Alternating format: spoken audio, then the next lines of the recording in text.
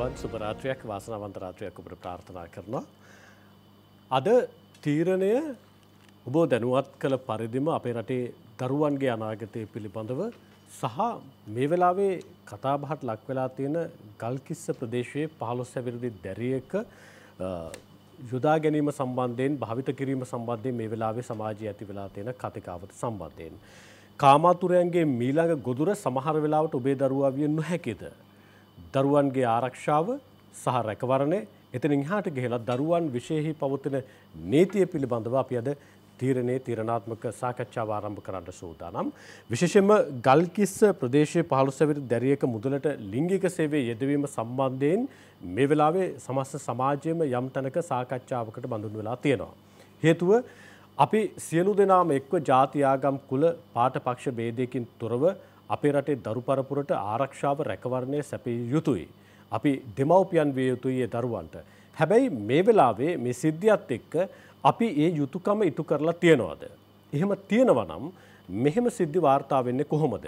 එතනින් මෙපිටට ආවට පස්සේ හිටපු අමාත්‍යවරයෙක් සම්බන්ධයෙන් වන සාකච්ඡාවකුත් කරලයට ඇවිල්ලා තියෙනවා. ඒ වගේම තමයි යම් තැනකදී අපි අපේක්ෂා නොකළ පියෙකුගේ නොහොබිනා සිදුවීමක් එක්ක දරුවන් දෙදෙනෙක් ගැබෙන තත්වයට පත්වීම සම්බන්ධයෙන් සාකච්ඡාවකුත් සිද්ධියකුත් වාර්තා වෙලා තියෙනවා. මේ සිද්ධි සියල්ලම එකට වාර්තාවීමත් එක්ක මේ සිද්ධි සියල්ලම මේ වෙලාවේ සමාජයේ කතා බහට ලක්වීමත් එක්ක දරුවන්ගේ අනාගතය සම්බන්ධයෙන් සියලු දෙනාම එක්ව සාකච්ඡාවක නිරත වෙලා සිටිනවා. ඒ නිසා අපි අද තීරණේ සාකච්ඡා කරන්න සූදානම් එක් පැත්තකින් නීතිය සම්බන්ධයෙන් අනෙක් පැත්තෙන් මනෝවිද්‍යාත්මකව මේට බලපාන සාධක සම්බන්ධයෙන් අනෙක් පැත්තෙන් දරුවන්ට මේ වගේ සිදුවීම් සිද්ධ වුණාට පස්සේ රජයේ වගකිව යුතු ආයතනය කොහොමද ක්‍රියාත්මක වෙන්න කියන කාරණය සම්බන්ධයෙන් අනෙක් පැත්තෙන් ප්‍රතිපත්ති සම්පාදනය කිරීමෙහිලා අමාත්‍යංශයක් විදිහට අමාත්‍යංශයේ භාරදුර කාර්ය සම්බන්ධයනුත් අපි සාකච්ඡා කරන්න සූදානම්.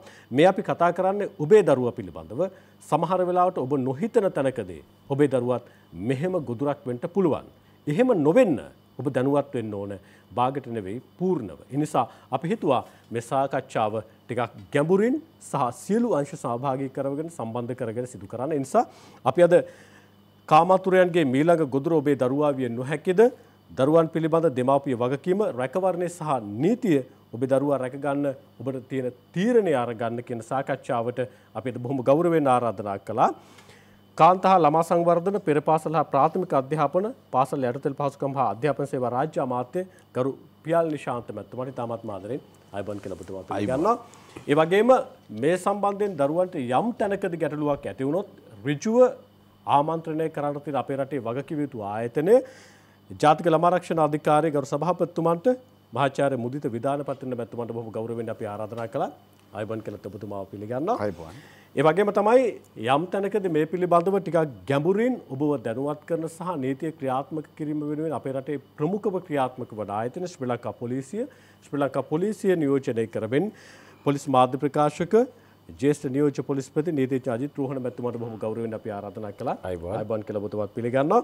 ඒ වගේම තමයි මේ සිද්ධිදාමයත් එක්ක සමහර වෙලාවට මේ කාරණාවලට හේතු සාධක වෙන්නේ බාහිර සමාජයේ සිදුවන සාධකයන් සේම සමහර වෙලාවට පුද්ගලයාගේ මනෝභාවයන් තුළ ක්‍රියාත්මක වීම කියන කාරණයක් යම් තැනක සාකච්ඡාවකට ඇති වෙලා තියෙනවා. ඒ නිසා අපි කරාපිටිය ශික්ෂණ රෝහලේ මනෝවෛද්‍ය විශේෂඥ රූමි රූබන් මැතිතුමාටත් බොහොම ගෞරවයෙන් ආරාධනා කළා. ආයුබෝවන් කියලා ඔබතුමාත් පිළිගන්නවා. අයිබන්. මම කැමති සාකච්ඡාව ආරම්භ කරන්න ගරු නීතිඥ අජිත් රෝහණ මැතිතුමනි මේ වෙනකොට මේ ගල්කිස්ස ප්‍රදේශයේ පහළොස් සැවිරදි දැරිය මුදලට ලිංගික සේවයේ යෙදවීම සම්බන්ධයෙන් මේ වෙනකොට ඔබතුමාලට වාර්තා වෙලා තියෙන අලුත්ම තත්ත්වය මොකද්ද? ඔව් දැන් මම මේ සිද්ධිය ගැන ඊට ඉස්සෙල්ලා පොඩ්ඩක් පැහැදිලි කරන්නම්. මේ සිද්ධිය පිළිබඳව ගල්කිස්ස මූලස්ථාන පොලිස් පරීක්ෂකවරයාට තොරතුරක් ලැබුණේ පහුගිය ජූනි මාසේ 6 වෙනිදා. ඒ තොරතුරු ලැබුණේ මේ එක්තරා මහල් නිවාසයක නැත්තම් අපාර්ට්මන්ට් එකක තියාගෙන මේ ගෑනු ළමයව අලවි කරනවා කියලා. ඔහු විසින් පුද්ගලයෙක් අත්අඩංගුවට ගත්ත එදාම ඊට පස්සේ තමයි මේ විමර්ශනය පොලිස්පතිතුමාගේ නියමය පරිදි පොලිස් ළමහා කාන්තා කාර්යංශයට බාර දුන්නේ. ඒකම ළමහා කාන්තා කාර්යංශය විතරක් නෙමෙයි ඊට පස්සේ අපරාධ පරීක්ෂණ දෙපාර්තමේන්තුව පොලිස් පරිගණක අපරාධ ඒකකයේ ඒ වගේම පොලිස් අපරාධ කොට්ටාශය මේ සියල්ල මේ සම්බන්ධයෙන් එකතු වෙලා වැඩි වැඩ කටයුතු කරන්න පටන්ගත් ඒ වගේම මම දැන් ජේෂ්ඨ නියෝජ්‍ය පොලිස්පති අපරාධ හැටියට කටයුතු කරන ඉතින් මේ අංශ අපරාධ පරීක්ෂණ දෙපාර්තමේන්තුවේ ඇරෙන්න අනිත් අංශ තියෙන්නේ මගේ යටතේ. ඉතින් එතකොට දැන් මේ සිද්ධිය ගැන විමර්ශන කරගෙන යනකොට අනාවරණය වෙච්ච කාරණා කීපයක් තියෙනවා. පළවෙනි එක තමයි මේ දැරිය එකක් මීට අවුරුදු එකැන ඇගේ වයස අවුදු දහතුනේ දෑ ප්‍රථම වතාවට අපයෝජනයක් ලක් වෙලා තිනවා. තමන්ගේ පියාගෙන් තමන්ගේ පෙම්මතාගෙන් ඒ ආකාරයට. ඊට පස්සේ තමයි මේ දෙමවපියන්ගේ දැනුවත්කම මත මේ දැරිය මේ ආකාරයට අන්තර්ජාලය හරහා අලි වෙලා තියෙන්නේ. එතකොට ඒ ඒ සඳහා විධ පාර්ශවයන් දායක වෙලා තින දැන් අපි හතලිස් දෙනෙක් අත්තරංගොට අරගෙන ඉන්නවා මේ අතර දාහත් දෙනෙක්ම ඉන්නේ මේ දැරිය මේ ආකාරයට අලබි කරන්න පහසුකම් සපයපු අය. ඒ කවුද මේ ප්‍රධාන පුද්ගලයකින්න අවුරුත් තිස්පහක ඔහු තමයි මේ නිවසිතියාගෙන අලවි කරේ.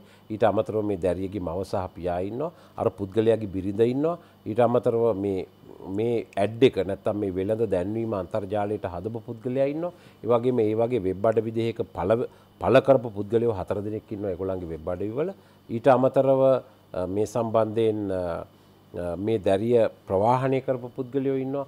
මේ දැරියට පහසුකම් සපයපාය ඉන්නවා ඒවගේම මේ දැරියව රැගෙන ගිහිල්ල අපයෝජනය කරන්න නවාතැන් දීපු හෝටල් වල කළමනාකරුවෝ සහයකයෝ ඉන්න මේ වගේ දාහත් දෙනෙක්කින්න. ඉට අමතරව තව විසිහතර දෙනෙක්කින්නවා ඒ අය තමයි මේ දැරිය අන්තර්ජාලය හරහා ලබාගෙන අපයෝජනයට ලක්කරපු කට්ටිය. එතකොට මේ සිද්ධිය පිළිබඳ විමර්ශන පවත්වාගෙන යනකොට විශේෂෙන්ම විද්‍යාත්මක සාක්ෂි පරිවේශණය සාක්ෂි වගේම අපිට තාක්ෂණික සාක්ෂි උපය කරගන්න ඕන උදාහරණයක් හැටියට වීඩියෝ දර්ශන CCTV කැමරා දර්ශන වෙනත් දුරකතන විශ්ලේෂණ මේ වගේ දේවල්. ඒවැද ඉතාම පැහැදිලි වෙච්ච කාරණයක් මාස තුනකට අසන්න කාලයක් මේ ආකාරයට අන්තර්ජාලය හරහා ඊට ඉස්සෙල්ල තව අලවි වෙලා ඇති අන්තර්ජාලය හරහා මේ දැරිය අලවි වෙලා තියෙන ඒකන දැනට අජිතුවන මැතුව ඔබතුමලගේ විමර්ශණයන්නේ මාස තුනකින් මෙපිට සිද්ධ විච සිරිධාම සම්බන්ධයද? නැත්තන් ඒ දැන් මේ දැරියගේ දුරකතනයත් එක සම්බන්ධ වෙලා තියෙන දුරකතන විශ්ලේෂණ ඔක්කොම තියෙන මේ මාස්තුනක් වගේ කාලය ඇතුළත. ඊට ඉස්සෙල්ලා ඇගේ පියාතින් පෙම්මතාතින් මේ දැරිය අපයෝජනයට ලක්වීම ගැන තියෙනවා. තුර අපි විමර්ශණ කරගෙන යනවා. තවත් හය දෙනෙක්ගේ විතර දැන් තියෙන විශ්ලේෂණ වාර්තානුව අපිට තොරතුරු ලැබිලා තියෙනවා. ඒ ගැන අපි හොයාගෙන යනවා මෙතෙන්දි කියන්න තියෙන ප්‍රධානම කාරණය තමයි දසුන් ගරු ඇමෙත්තුමා ඉන්නවා. ඒවගේම මගේ පන්තිය පාසැල් මිත්‍රයා මහාචාර්ය මුදිත විධාන පතිරණ ජාතික ළමාරක්ෂණ අධිකාරී සභාපති. එතකොට මේ ළමයින්ගේ ආරක්ෂාව භාරෝ කටයුතු කරන ප්‍රධානම ආයතනය සභාපතින්න මේ ඔක්කොම ඉන්න ඇති දැ මේ වගේ අවස්ථාවකදී තැන් නීතිය ක්‍රියාත්ම කරන ආයතන පොලිසිය. තර පොලිසියට අපිට වක්කීමක් තියෙනවා. මේ වගේ අපරාධයක් වුණාම විමර්ශනය කරලා මේ ගැන හොයල්ල බලලා කටයුතු කරන්න මේකේ සැකරුව අල්ලුවේ නැත්තන් එක අපේ තියෙන අඩුපාඩුව එක අපේ තියෙන අඩුපාඩුවක්. ඒවගේම මේ වගේ සම්බන්ධව ප්‍රතිපත්ති හදලා ක්‍රියාත්ම කිරීමේ යාන්ත්‍රණය ළමරක්ෂණ අධිකාරී තියෙනවා. ඒවගේම ගරු ඇමෙත්තුමා ඉන්නවා ළමයින්ගේ කාන්තාවන්ගේ අභිවෘද්ධිය තියෙනවා. හැබැයි මේ මේ පාර්ශවයන්ට විතරක් මේ රටේ මේ ප්‍රශ්නය දිහැ බලලා වගකීම පවරලක් නිහඬව ඉන්ඩ බෑ. මේකට තව වගකයුතු පාර්ශවයක් නම් මොකද මේ අපි මේ තත්ත්වයන්ට මැදිහත් වෙන්නේ බොහෝ වෙලාවට මේ වගේ සිද්ධියක් වුණාම නැත්තම් වෙන්න ආසන්න අවස්ථාවකදී. හැබැයි එහෙම වුණාට දෙමව්පියන්ට ගුරුවරුන්ට යාළුවන්ට මිත්‍රයින්ට මේගොල්ලන්ට සමාජයේ තියෙන මේ වගකීම අතිමහත් අතිමහත්. දැන් මේ දැරිය දෙල්ගොඩ ප්‍රදේශයේ දැරියක්. දැන් මේ වගේම නාවල පිටිය ප්‍රදේශයේ දහ දෙනෙක් අතින් මේ වගේම අපයෝජනයට ලක් වුණා මේ ඊයේ පෙරේද තවත් දැරියා. දැන් මෙන්න මේ සමාජ වගකීම කියන එක අපි අපේ වගකීම අපි කිසිසේත් බැහැර කරන්නේ නෑ. අපිටන චෝදනා බැහැර කරන්නේ නෑ. අපිට බරක් තියෙනවා කියන අපි බැහැර කරන්නෙත් නෑ. හැබැයි මෙන්න මේ සමාජයේ අනිත් පාර්ශවයන්ට මේ තියෙන වගකීම පිළිබඳ කතිකාවතක් නිර්මාණය වෙන දැන් ගමක අපි ගත්තොත් එහෙම ඔය දැරියගේ තාත්තා කුඩුවලට ඇබැහිවෙච්ච පුද්ගලෙක්. එතකොට ඒ වගේ අවස්ථාවකදී ගමක් කාශ්පිතව යම් යම් කණ්ඩායම් ඉන්නවා ඒ කියන්නේ ඒ ඒ අයට අපි කියන්න නැහැ මේ පොලිසියට ඇවිල්ල ඔත්තු දෙන්න කියලා. නමුත් මේ වගේ කණ්ඩායම් ස්වේච්ඡා සංවිධාන වෙනත් රාජ්‍ය නිලධාරීන් මේ මගේ අයට මේකේ මේ තත්ත්වය ඒ මුල්ම අවස්ථාවදී දැනිලා තියෙනවා. අපි සාක්ෂි සටහන් කරපු විදිට දැ ඔබතුමාර තනකරක ඔත්තු දෙන්න කියලා කියන්න කියලා. ඔත්තු දුන්නත් ප්‍රශ්නයක් නෑ. ඔත්තු දුන්නත් ප්‍රශ්නයක් නෑ. දරුවන් වෙනුවෙන් මේක ඔත්තුවක් නෙමේ. දරුවන්ගේ ආරක්ෂිත භාවය වෙනුවෙන් ලබා දෙන්න තොරතුරක් මේක. තකොට අන්නේ වගේ මේ සමාජය මේ දැරි එක දැරියක් මේ වගේ මේ සමාජ තලය ඉන්න තමුන්ගේ අම්මා විදේශගත වෙච්ච මැදපෙරදිග රටකට ගිය තාත්තගේ බාර විතරක් ඉන්න දැරියෝ. ඒ වගේ අවස්ථාවල මේ වගේ අපරාධයකට ලිංගික අපයෝජනයකට ගොදුරුවිය හැකි දසදහස් ගානක් දැරියෝ ඉන්න. ති ම මේ වැඩසටහන උපයෝග කරගන්නේ ඇත්තටම එවැනි මට්ටම්මල ඉන්නට මොකද ළමහා කාන්තා කාර්යංශය කියන පොලිසි ආයතනය තියෙන්නේ මගේ බාරය. වගේ මේකට සම්බඳ අනිත් ආයතනය තියෙන්නේ මගේ මිත්‍රය බාරය. අපිට ඒකාබද්ධ වැඩ පිළිවෙලක් අපි දෙන්නම එකතු වෙලා රජයේ තනුග්‍රහ ඇතුව ඉදිරි කාලිදි ක්‍රියාත්මක කරන්න බලාපොරොත්තු වෙන. ඉතින් ඒ නිසා මේ සමාජ වගකීම් මේ වගේ මේ වගේ ඉන්න මේ ගොදුරු වෙන්න පුළුවන් ළමයින් පිළිබඳව තොරතුරු හැකියාවන් ඒ සියල්ලක්ම අපිට සපයන්න. එතකොට අපිට පුළුවන් මේ ගැන ප්‍රමුඛ යාන්ත්‍රණයක් හදන්න. මොකද යමක් උනාට පස්සේ ප්‍රතිකාර කරලා වැඩක් නෑ. වෙන්ඩිස්සල්ල වලක්වා ගැනීම තමයි අපේ යුතුකම වෙන්නේ. අජිත්‍රවට පත්ත දැඟ මේ සිද්ධියත් එක්ක මේ සිද්ධිය විමර්ශන ක්‍රියාත්මක වෙමේ යනකොට එකනෙක්න අත්තඩංගුට ගන්නකොට සමාරලට නොහිතන පුද්ගලයන් මාධ්‍යහමය නිරාවරණය වෙනකොට ඔබතුමාට යම් බලපෑමක් කෙල්ලුනා කියලා තාරංචි මේ විමර්ශන නවත්තන්න කියලා. එහෙම සිද්ධි සිදුනා නෑ ඇතර මෙහෙම එහෙම සිදුවීමක් නං වුණේ නෑ. යම් චීවරධාරීන් සම්බන්ධයෙන් මේ මේ සිද්ධියට අදාළව යම් චීවරධාරීන් සම්බන්ධයෙන් අත්අඩංගුවට ගැනීමට යෑමේදී ඔබතුමාට බලපෑමක් කෙළුණාද නෑ එහෙම එහෙම එහෙම එහෙම සිදුවීමක් වුණේ එහෙමනම් මේ වෙලාවේ මාධ්‍ය වාර්තා කරනවා වෙබ් අඩවි වාර්තා කරනවා යම් නම් ලැයිස්තුවක් ඒ නම් ලැයිස්තුවේ අන්තර්ගත පුද්ගලයන්ගෙන් ඔබතුමාට බලපෑමක් කෙළුණාද ඒ අන්තර්ගත වෙච්ච නම් ලැයිස්තුවේ සාධාරණත්වයක් තියෙනවද? නෑ ඇත්තටම දැන් මේ සමාජ මාධ්‍ය ජාලාවල පළවෙන නං ලයිස්තු ගැන කතා කරන්න මච්චර කැමතිනයකට හේතුව මොක දන්නවත් දසු දැන් හෙට තවනන් ලයිස්තුවක් පලවුණුත් ඒකටත් පොලිස් මාධ්‍ය ප්‍රකාශක මේ හරිද වැරදි කියලා කියන්න තරයක්න්න අනිදටත් නල් ලයිස්තුවක් පලවුණුත් මේක හරිද වැරදි කියලා කියන්න ඒක ඒ ඉති ඒක නිසා එක පුද්ගලයෝ සමාජ මාධ්‍යයට මේ සිද්ධිය නෙමේ තවත් කාගේ හරි කෙනෙකි හොරකමක් කියලා දැම්මොත් පොලිස් මාධ්‍ය ප්‍රකාශ කියන්නේ. නමුත් මට එක දෙයක් කිය එක දෙයක් එක දෙයක් කියන්න ඕනේ මේ සිද්ධිය සම්බන්ධයෙන් එක චීවරධාරිය කත්තඩංගුට අරගෙන අධිකරණයට දිරිපත් කරලා තියෙනවා. ඒ වගේම මේ මේ සිද්ධියට අදාළව තවත් පුද්ගලයෝ ජීවරධාරීන් නෙමේ හය දෙනෙක්ගේ නං අනාවරණය වෙලා තියෙනවා අත්තරංගුට ගන්න තියෙනවා. ඉතින් ඒ ගැන අපි පරීක්ෂණ කටයුතු කරගෙන යනවා. ඒ අනුව කිසිම ආකාරයක බලපෑමක් අපිට වෙලත් නැහැ. ඒ වගේ බලපෑමක් බලපෑමක් කවුරු හරි කරත් අපි ඒ විමර්ශන කටයුතු ඒ ආකාරයටම කරගෙන යනවා. ඒකට කිසිම ආකාරයක රජයේ පාර්ශවයෙන් නැත්නම් වෙන පැත්තකින් අපිට කිසිම බලපෑමක් නැහැ. ඒ වගේ මේ පුද්ගලින්ගෙන් බලපෑමකුත් නැහැ. බලපෑම් කරන්නත් කාටවත් බෑ. මේ විමර්ශනය අපි අඛණ්ඩව කරගෙන යනවා. අජිත් රෝණමත් ඔය නම් ලැස්තු සමාජගත වීමත් එක්ක නැත්නම් මාධ්‍ය හරහා වාර්තා වීමත් එක්ක එක්තැනකදී ඔබතුමාලගේ සිද්ධ කර විමර්ශන වෙනත් අතකට යොමු කරන්න සැබෑ අපරාධකරුවන් සංගවලා වෙනත් දිශානකට යොමු කරන්න දරපු උත්සාහයක් කියලා ඔබතුමාට හිතෙන්නේ නැද්ද? දැන් දැන් මෙහෙමනේ දැන් සමාජයේ පිටින් බලන කෙනෙකුට දසුන් තේරෙන්න පුළුවන් මේ කතාව. නමුත් දැන් අපි මේ විමර්ශන කරන්නේ එකක් තමයි CCTV වල තියෙන දත්ත. අපිට පේනවා මේ දැරිය වාහනයකින් ගිහිල්ලා බැහැලා යන විදිය. එතකොට ඒවා CCTV එකේ තියෙනවානේ. එතකොට ඒකම මේ දැරියගේ මේ සිද්ධීන් වලට මේ දැරියගේ දුරකථන විශ්ලේෂණ වාර්තා අරගෙන බලනකොට සම්බන්ධ වෙච්ච දුරකථන. ඉතින් ඒවා ඔක්කොම දිහා බලලා තමයි අපි විමර්ශනය කරන්නේ. ඒක නිසා තව පාර්ශවයකට පෙවුනට විද්‍යාත්මක සහ තාක්ෂණික සාක්ෂි විශ්ලේෂණය කරලා බලනකොට මේ අපිට නියම පුද්ගලයෝ අදුරගන්න පුළුවන්. එකැන අපිව රවට්ටන්ට අපිව වෙන පාරකට මම්මුලා කරලා යොමු කරන්න කාටවත් හැකියාවක් නෑ දැනට අනාවරණය වෙලා තියෙනකින් හතලිස් එක් දෙනෙ අත්තරංගොට අරන්තිනවා තව හය දෙනෙක් අත්තරංගොට ගණඩ තියෙනවා මේක තමයි තත්ත්ව මොකද මම මේ කැමති නැත්තේ ඔය සමාජ මාධ්‍යජාලාවල තියෙන ලිස් ගැන කතා කරන්න ඔය කතා කළොත් ඉවරයක් වෙන්නේ නැහැ. දැන් මම අද කතා කරාම ආයි තව හෙට ලිස්ට් එකක් දාන්න පුළුවන්. අනිත් තව ලිස්ට් එකක් දාන්න පුළුවන්. තව අපරාධයකට මොනවා හරි කරලා ඉතින් ඕකට පොලිස් මාධ්‍ය ප්‍රකාශක වෙරිෆිකේෂන් දෙන්න ගියොත් පැහැදිලි කිරීම කරන්න ගියොත් සමාජ මාධ්‍ය ජාලාවල තියෙන ඔක්කොටම මට ඔවට උත්තර දෙන්න වෙනවා. ඒක නිසා සමාජ මාධ්‍ය ජාලා භාවිතය පිළිබඳව ලංකාවේ මතවාදයක් කතිකාවතක් ඇතිවෙන්න ඕන එක වෙනම කතාවක්. නමුත් ඒවා තියෙන ලිස්ට් වලට අපි උත්තර දෙන්න මේ වැඩසටහන ඒ එක්තරක දේ ලිස්ට් එක දාපු එක සම්බන්ධයෙන් ඔබතුමාලගේ විමර්ශනයක් තියෙනවද? එහෙම යෝජනාවක් අපිට අපිට ඒ ලිස්ට් එකේ ඉන්න සමහර අය පැමිණිලි කරලා තියෙනවා. තමුන්ට මේ සම්බන්ධයෙන් මේ යම් යම් ආකාරයට තමුගේ නමත් යොදලා තියෙනවා කියලා අපිට පැමිල්ලි කරලා තියෙනවා. ඉතින් ඒ සම්බන්ධව යම් යම් විමර්ශන සිදු කරනවා. නමුත් එකම දේ තමයි අපේ රටේ 2002 අවුරුද්දේදී සාපරාධී අපහාස නීතිය අපේ නීතියෙන් ඉවත් කරාට පස්සේ වෙච්ච ප්‍රධාන ප්‍රශ්නය තමයි යම්කිසි කෙනෙක්ට කරන අපහාසයක් සම්බන්ධයෙන් අපේ රටේ අපරාධ නීතිය යටතේ විමර්ශන කරන්නවත් කටයුතු කරන්නවත් බැහැ. ඉතින් දැම් බොහෝ වෙලාවට බොහෝ අය කියනවා සමාජ මාධ්‍ය ජාලා ඉතා හොඳයි සමාජ මාධ්‍ය ජාලා තියෙන නොකල ම සියට සියක් එක පිළිගන්න බැයි ඇත්ත කියන තාක්කල් ඒක හොඳයි. බොරුව සමාජගත වෙනකොට ඒ කියපුයන් සමහර වෙලාවට කියනවා දැන් අපට ලොකු ප්‍රශ්නයක් ලිතිය නිසා මම මේ සිද්ධියත් එක්කම දැඩි ලෙස කියන කතාවක් තමයි මේ ආකාරයට ලෝකයේ සමාජ මාධ්‍ය ජාලා කිසිම පාලනකින් නැතුව තියෙන එකම රට ලංකා විතරයි අනි හැම රටකම නීති තියෙනවා.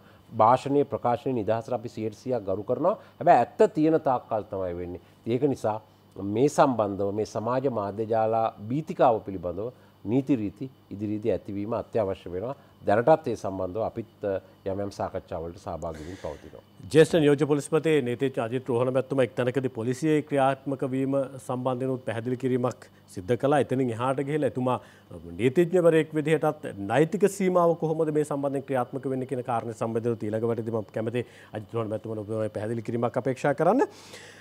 ගරු අමාත්‍ය මේ රාජ්‍ය අමාත්‍ය පියල් නිශාන්ත මැත්තුමනේ දැන් රටේ දරු පරම්පරාව තමයි අනාගතය බාරගන්නේ ඉන්නේ. අනාගතයේ බාරගන්නන දරු පරම්පරාව සම්බන්ධයෙන් වග කියන්න කැබිනට ඇමති දුරයක් නැවතුම රාජ්‍ය අමාත්‍යවරයා. මේ රජයේ අඩු අඩුවත් ඒක. දසුන් මම ගොඩක් ස්තුතිවන්තයනවා අද තීරණය වැඩසටහන තුළ විශේෂයෙන්ම අපට ආරාධනා කළ ඉතාමත්ම කාලෝචිත මේ වැදගත් වූ මාර්තෘකාව සම්බන්ධව කතා කිරීම සම්බන්ධව. ඔබේ ප්‍රශ්නයට මහිතන ම මාධ්‍ය තුළ උත්තර දීලා තියෙන මන් නැවතත් බොහොම කෙටියෙන් උත්තර දෙන්නම් මොකද ඉතිහාසය ඉඳලා ගත්තම් පස්සේ ඇත්ත කාන්තහා ළමා කිව්වම එය කැබිනට් අමාත්‍ය දූරයක්. හැබැයි ඉතිහාසය ඉඳලම අරගත්තොත් මේ කැබිනට්ද නැත්තන් නන් කැබිනට්ද කියන එක නෙවෙයි වැදගත් වෙන්නේ මේ විශේපතයේ වගකීම් භාරගත්ත මොහොතේ ඉඳලා ක්‍රියාත්මක වෙන ආකාරය තමයි ඉතාමත්ම වැදගත්වෙන්නේ. තේ නිසා මම මේ විෂේ භාරගත්තය විශේෂයෙන්ම අතිගරු ජනාධිපැත්තුමා මේ විශේපතය මට භාරදුන්නා. භාරදුන්න මේ කෙටිකාලය ඇතුළත විශේෂෙන්ම ශ්‍රී ලංකා පොලිසියත් සමඟ අධිකරණ අමාත්‍යන්සේ සමඟ ඒ වගේම විශේෂෙන් අනිකුත් අපට සහයෝග දෙන අමාත්‍යංශ එක්ක අපේ කාන්තහා ළමා අමාත්‍යංශය විශේෂයෙන්ම ලොකු සම්බන්ධතාවයන් ගොඩනගාගෙන වැඩ කටයුතු කරලා තියෙනවා. ඒවකට තිබිච්ච චෝදනාවක් තමයි මේ දැනටත් මන් දැක්ක ඊයත් යම් මාධ්‍යයක යම් කිසි අපේ නීතිඥ මහත්තයෙක් ප්‍රකාශයක් නිකුත් කරනවා මේ කාන්තහා ළමා සංවර්ධන අමාත්‍යන්සේ එහෙමනතං අපේ ගරු සභහපෙත්තුමාගේ කොටසේ ඒ වගේම ශ්‍රී ලංකා පොලිසියත් අතර ලොකු සම්බන්ධතාවයක් නෑ මේ සම්බන්ධතාවේ ගොඩනැගෙන්න්න ඕන කියලා. මං පැහැදිලිවම කියන මොකද මේ මම මේ විශේපතේ භාරගත්ත මොහොතේ ඉඳලම මම උත්සාහගත්තේ හැම වෙලාවම මේ අපි හැම කෙනෙකුටම තියෙන වගකීමක් මේ දරුවා සහ කාන්තාව කියන එක.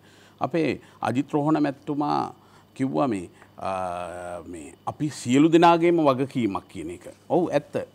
ඒ වගකීම හරියට තේරුම් නොගත්ත නිසා තමයි අද මෙවැනි තත්ත්වයක් ඇති වෙලා තියෙන. දරුවාව අයිති වෙන්නේ මේ ළමා කටයුතු අමාත්‍යයන්සයට විතරක් නෙවෙයි. දරුවාව අයිති වෙන්නේ යම්කිසි හිරියරයක් කරදරයක් හිංසනයක් සිදුවනාම් පස්සේ ශ්‍රී ලංකා පොලිසිට විතරක් නෙවෙයි. මේ ඉන්න අපේ නීතිඥ මහත්තුරුන්ට විතරක් නෙවෙයි. ඒක නිසා අපේ අපි සීලු දෙනාටම සමාජයේ ඉන්න සීලු දෙනාටම ලොකු වගකීමක් තියෙනවා දරුවන් පිළිබඳව අම්ම තාත්තා වගේ රැක බලා ගැනීමේ කටයුත්ත. මට මතක් වෙනෝ ඉතිහාසේ යම්කිසි කෙනෙක් යම් වරදක් සිද්ධ කරොත් දරුවෙකුට හෝ වෙනත් කෙනෙකුට සාමාන්‍ය අපේ ඉතිහාසේ ඒ ඉතිහාසය තිබුණේ ග්‍රාමීය මට්ටමේ අධිකරන. ග්‍රාමීය අධිකරන. උසාවියක් හැටිය තියන්නේ ඒ එවැනි අවස්ථාවකදී සභාවගේ ගමවෙදයක්. එත එවැනි අවස්ථාවකදී වැරද්දක් කරපු පුද්ගලයාව ඉදිරියට පමුණනෝ වගේම ඒ ගමේ ඉන්න සීලු දෙනාවමත් කැඳවනෝ ඒ අවස්ථාවට. අර මේ වැරදි කරපු පුද්ගලයට දනුවන් දෙනවා වගේම තමයි මේ සිද්ධියට සම්බන්ධ වෙච්ච ග්‍රාමයේ ඉන්න අනිකුත් සියලු දෙනාටත් දඩුවම් කරනවා. ඇයි එහෙම දඩුවම් කරන්නේ. දඩුවම් කරන්නේ අපි එකක්නාට මේ තියෙන ලොකු වගකීම. ඒ වගකීම වෙනදටත් වඩා අපි දරුව දරුවෙක් ගැන හිතලා අපි කටයුතු කරන්න ඕන එක නිසා අපිට සාමීකව මේ ගැටලුව විසදන්න වෙන්නේ සීලු දෙනාම දෙන දායකත්වය සහ ඒ උනන්දුව මත. හොද එතරදි පියල්ෂාද ගරු රාජමාත්තුමනේ ප්‍රාථමික සමාජය සංවර්ධන වෙලා වෙල්ලා දැන් ඔබතුමාලා ජාතික රාජ්‍යයන් එක්ක ක්‍රියාත්මක වෙනකොට සහ ඔබතුමාලටත් ජාතික රාජ්‍යයන් තුළ වගකීම් පැවරෙනකොට සමහර වෙලාට එදා ග්‍රාමීයව සිද්ධ කර ඒ ක්‍රියාවලිය මේ වෙනකොට ඔබතුමාලා විධිමත් ආයතන පවත්වලා ආයතන ගතව ක්‍රියාත්ම කරන්න කටයුතු කරලා තියෙනවා. එක් පැත්තකින් ජාතික ළම ආරක්ෂණ අධිකාරිය තියෙනවා, මේ පැත්තෙන් පොලිසිය තියෙනවා, අනෙක් පැත්තෙන් ප්‍රතිපත්ති සම්පාදනය කිරීම වෙනුවෙන් ඔබතුමාගේ අමාත්‍යාංශය තියෙනවා. එදා ග්‍රාමීයව සිද්ධ කරපු කටයුත්ත අද මේ ආයතන බද්ධව සිද්ධ කරනකොට විධිමත් ක්‍රමවේදයකට සිද්ධ කරන සමහර වෙලාවට ඒ ක්‍රමවේදය තුළ අවසානයේ ඒ කටයුත්ත සිද්ධ කරපු කෙනාට ලබා දෙන දඬුවම සම්බන්ධයෙන් විවේචනයක් තියෙනවා. දෙදස් දහතුනේ නම් ළමා අධිකරණ සම්බන්ධයෙන් සාකච්ඡා වුණා යම් තැනකද ඔබතුමාලා සාධනයේ පියවරක් මේ වෙනකොට තියලා තියෙනවා. මේ වෙලාවෙත් ඔබතුමාලට මතක ඇති සේවා සදුමිනි ඝාතනය ඊට පස්සේ ශිවලෝකනාഥන් විද්‍යාදරියගේ ඝාතනය මේ ඝාතන සිද්ධ වෙච්ච වෙලාවෙත් සියලු දෙනා එක හඬින් කිව්වේ මේ අපරාධකරුවන්ට මරණ දඬුවම දෙන්න. සමාජගත කරන්න එපා කියලා. ඔබතුමාලට හිතනවාද අමාත්‍යවරයෙක් විදිහට ඔබතුමාත් එක් තැනකදී දරුවන් එක සෑහෙන ගඳුණු කරපු රාජ්‍ය ඇමතිවරයෙක් විදිහට මේ අපරාධ කරන අපරාධකරුවන්ට දෙන දඬුවම ප්‍රමාණවත් කියලා. පැහැදිලිවම ප්‍රමාණවත් නෑ. ඒක නිසා මම විශේෂයෙන්ම මරණ දඩුවමට හරි විරුද්ධ කෙනෙක්. ඒ විරුද්ධතාව තින යම් යම් හේතු කාරණාත් එක්ක. හැබැයි මම අතිකරු ජනාතිපෙත්තුමාගේ මට ඉල්ලන්න තියෙන පළවෙනි ඉල්ලීම මොකක්ද කියලා හැවුවොත් මං ඉල්ලන්නේ විශේෂයෙන් මේ වගේ අහිංසක මල් වගේ දරුවෝ ටික විනාශ කරන දූෂිතයෙක් එහෙම නැත්තං වෙනත් කවුරු හරි පුද්ගලෙක් ඉන්නවා නම් එයාට මරණ දඬුවම දී යුතුමයි. ඒක දී යුතුමයි ඒක කිසිදු වෙනසක් නෑ මං හිතන්නේ මොකද මෙවැනි අහිංසක මේ බාලවයස් දරුවන්ට මේ රට තුළ සිදුවෙන සිද්ධිත් එක්ක බලන්නකොට පැහැදිලිවම මරණ දඩුවම දියයුතුයි කියන මතේ ඉන්න. ඒවගේම තමයි ලෝකයේ ගත්තම සෑම රටකම මෙවැනි සිද්ධි සිද්ධ වෙන අඩුවැටි වසයෙන්. ඇබැයි දැන් මේ තත්ත්වය ගත්තම් පස්සේ දැනට අවුරුදු ගණනාවක ඉඳලා අපේ රටේ මෙය සාමාන්‍ය සිද්ධියක් බවට පත්වෙලා තියෙනවා. දැන් දෙදස් දහනමේ ගත් දෙදස් දහතය ගත්තම දෙදස් දහටේ ගත්තම දෙදස් දහනමේ ගත්තම ඒ සංඛ්‍යාලයකනත් එක්ක බලන්නකොට දෙදහස් විස්සේදී මේ සංඛ්‍යාව අඩු වෙලා තියෙනනේ සභාපතිතුමා. යම් ප්‍රමාණකින් අඩු වෙලා තියෙනවා. සෑහීමකට පත් වෙන්න බෑ මම සතුටු වෙන්නෙත් නැහැ. මං හිතන්නේ මෙතන ඉන්න කවුරුවක්වත් සතුටු වෙන්නේ නැහැ යම් ප්‍රමාණයක් අඩු වුණා කියලා. අපි සතුටු වෙන්නේ අපි ආඩම්බර වෙන්නේ රටක් හැටියට අපි ආණ්ඩුවක් හැටියට අපි ආඩම්බර වී යුත්තේ අපි සතුටු වී යුත්තේ විශේෂයෙන්ම මේ දරුවන්න සුරක්ෂිත මට්ටමෙන් ආණ්ඩුවක් හැටියට බලාගන්න පුළුවන් වුණොත් විතරයි. ඉතින් ඒක නිසා අපි පැහැදිලිවම කියන මේ අවස්ථාවේදී නීතිය සමහර තැන් තියෙනවා ඒව වෙනස් කරන්න ඕනේ. අපේ නීතිඥ ඇත්තුමා මම හිතන්නේ සාක්ෂි දරයි. යම් යම් තැන් තියෙන දුර්වල තැන් ඒවා මං හිතන්නේ අලුත් අලුතෙන් ක්‍රියාත්ම කරන්න වෙනවා. ඒවගේම ඊටත් තොඩ නීතියයි දඩුවමයි විතරක් දීලා හරියන්නේ දසුන්. මොකද මං හිතන්නේ මේ රටය තුළ ආකල්පමය වෙනසක් ඇති කරන්න ඕද ඔබතුමා ආකල්පම වෙනසක් ඇති කරන්න කියලා ඔබතුමා චන්දර කලනුත් මේ වගේ පත්‍රිකාවක් මුද්‍රණය කරලා ඔබතුමා දෙමවපියන් එකතු කරගත්තා. ඊට පස්සේ අනි පැතෙන් දරුවන්ට ආමන්ත්‍රණය කලා ගැබිටි මාතාවන්ට ආමන්ත්‍රණය කලා ඔබතුමා චන්දර කලින් ලොකු කැම්පේෙන් එකක් කරංගිය චන්දෙන් පස්සෙත් ඔබතුමා හෙම කැම්පේෙන් එක කරංගිය ඒ අරගෙන ගියපු වැඩපිළිවෙලේ සාර්ථකත්වයක් තියෙනවද කරු ඇමතුමා පැහැදිලිවම තියෙනවා. මොකද මේ අපිට කරන්න පුළුවන් සීමාවක් තියෙනවා. ඒ සීමාවේ උපරිමටම ගිහිලා තියෙනවා. මේ ඡන්ද පත්‍රිකාවක නම් මම කොහෙත්ම ඡන්දට ඉස්සෙල්ලා මෙවැනි දේවල් ලබා දීලා නෙමෙයි. මම වෘත්තීයෙන් රජයේ ගුරුවරයෙක් හැටියටත් කලාකරුවෙක් හැටියටත් මම මේ බිමේ පොළොවේ අඩිය ගහලා ඉන්න කෙනෙක් හැටියටත් මම මේ මැතිවරණට ඉදිරිපත් වෙච්ච කෙනෙක්. මේ මෙවර ලෝක කාන්තා දිනේ රටකි දැයකි ලෝක ඇය කියන තේමාව ඔස්සේ දින හතයි වැඩසටහන් විසි හයක් මේ නිදහස් චතුරස්ත්‍රයෙන් ආරම්භ කල්ලා අම්පාරෙන් ඉවර කරේ පළවෙනි වතාව දැන් එතන දිගට ගොඩක් දෙන්න දසුන්.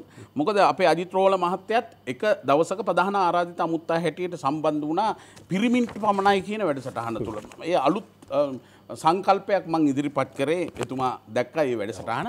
මේ අම්මාවරුණය කියන වැඩසටහන මම පැහැදිලිවම මේ රටට හඳුන්වල දුන්නේ විශේෂයෙන් මෙන්න මේ වගේ සිද්ධ නිසා. මොකද අපිට අද වෙනකොට මේ ආකල්පමය වෙනසක් අවශ්‍යයි. අම්ම තාත්තා කියන්නේ කවුද ඒගොල්ලොන්ට තියෙන වගකීම මොකක්ද දරුවේ කම්මට තාත්තට ආදරය කළ යුත්තේ ඇයි.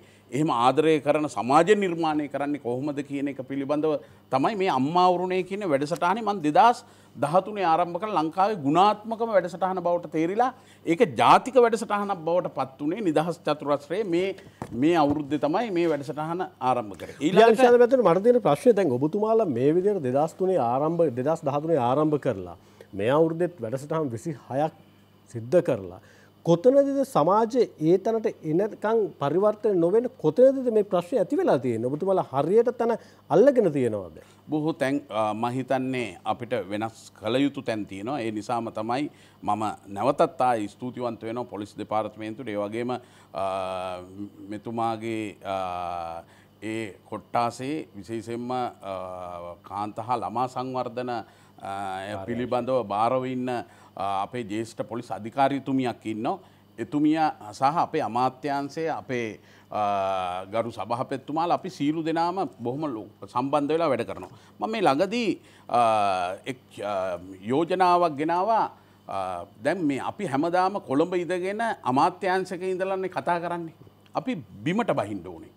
එනිසා දැන් මේ සම්බන්ධ ප්‍රාදේශය සම්බන්ධ සම්බන්ධී කරන කමිටු තියනවා. මේ සම්බන්ධී කරන කමිටු වෙලෙදි පාර ගැන කතා කරන බෝක්කෝ ගැන කතා කරනවා අපි මහා උජාරුවට රටේ අධිවේගී මාර්ග ගැන කතා කරන ජාතියන්තර ගුවන් තොටුපොල ගැන කතා කරන ජාතියන්තර වරාය ගැන කතා කරන ජාතියන්තර ක්‍රීඩාංගන ගැන කතා කරන ඇයි දෙයනි දරුවෝ ගැන කතා කරන්න බැරි ප්‍රාදේශය කමිටුවක එනිසා මම මගේ ප්‍රාදේශී ලේකම් කාර්යාලයක නිලධහරින් පස් දෙනෙක්කින්න ඒ පස් දෙනාව පැහැදිලිවම දිස්ත්‍රික් සම්බන්ධී කරන කමිටුවේ සභහපතිට ඒවගේම දිසාපැත්තුමාට ප්‍රාදේශීය ලේකම්තුමාට පැහැදිලිවම කිව්වා අනිවාර්යම සම්බන්ධී කරන කමිටුවට සම්බන්ධ කරන්න ඕනේ. ඒගොල්ලොන්ගේ වාර්තාවක් ගන්න ඕනේ මාස් පතා.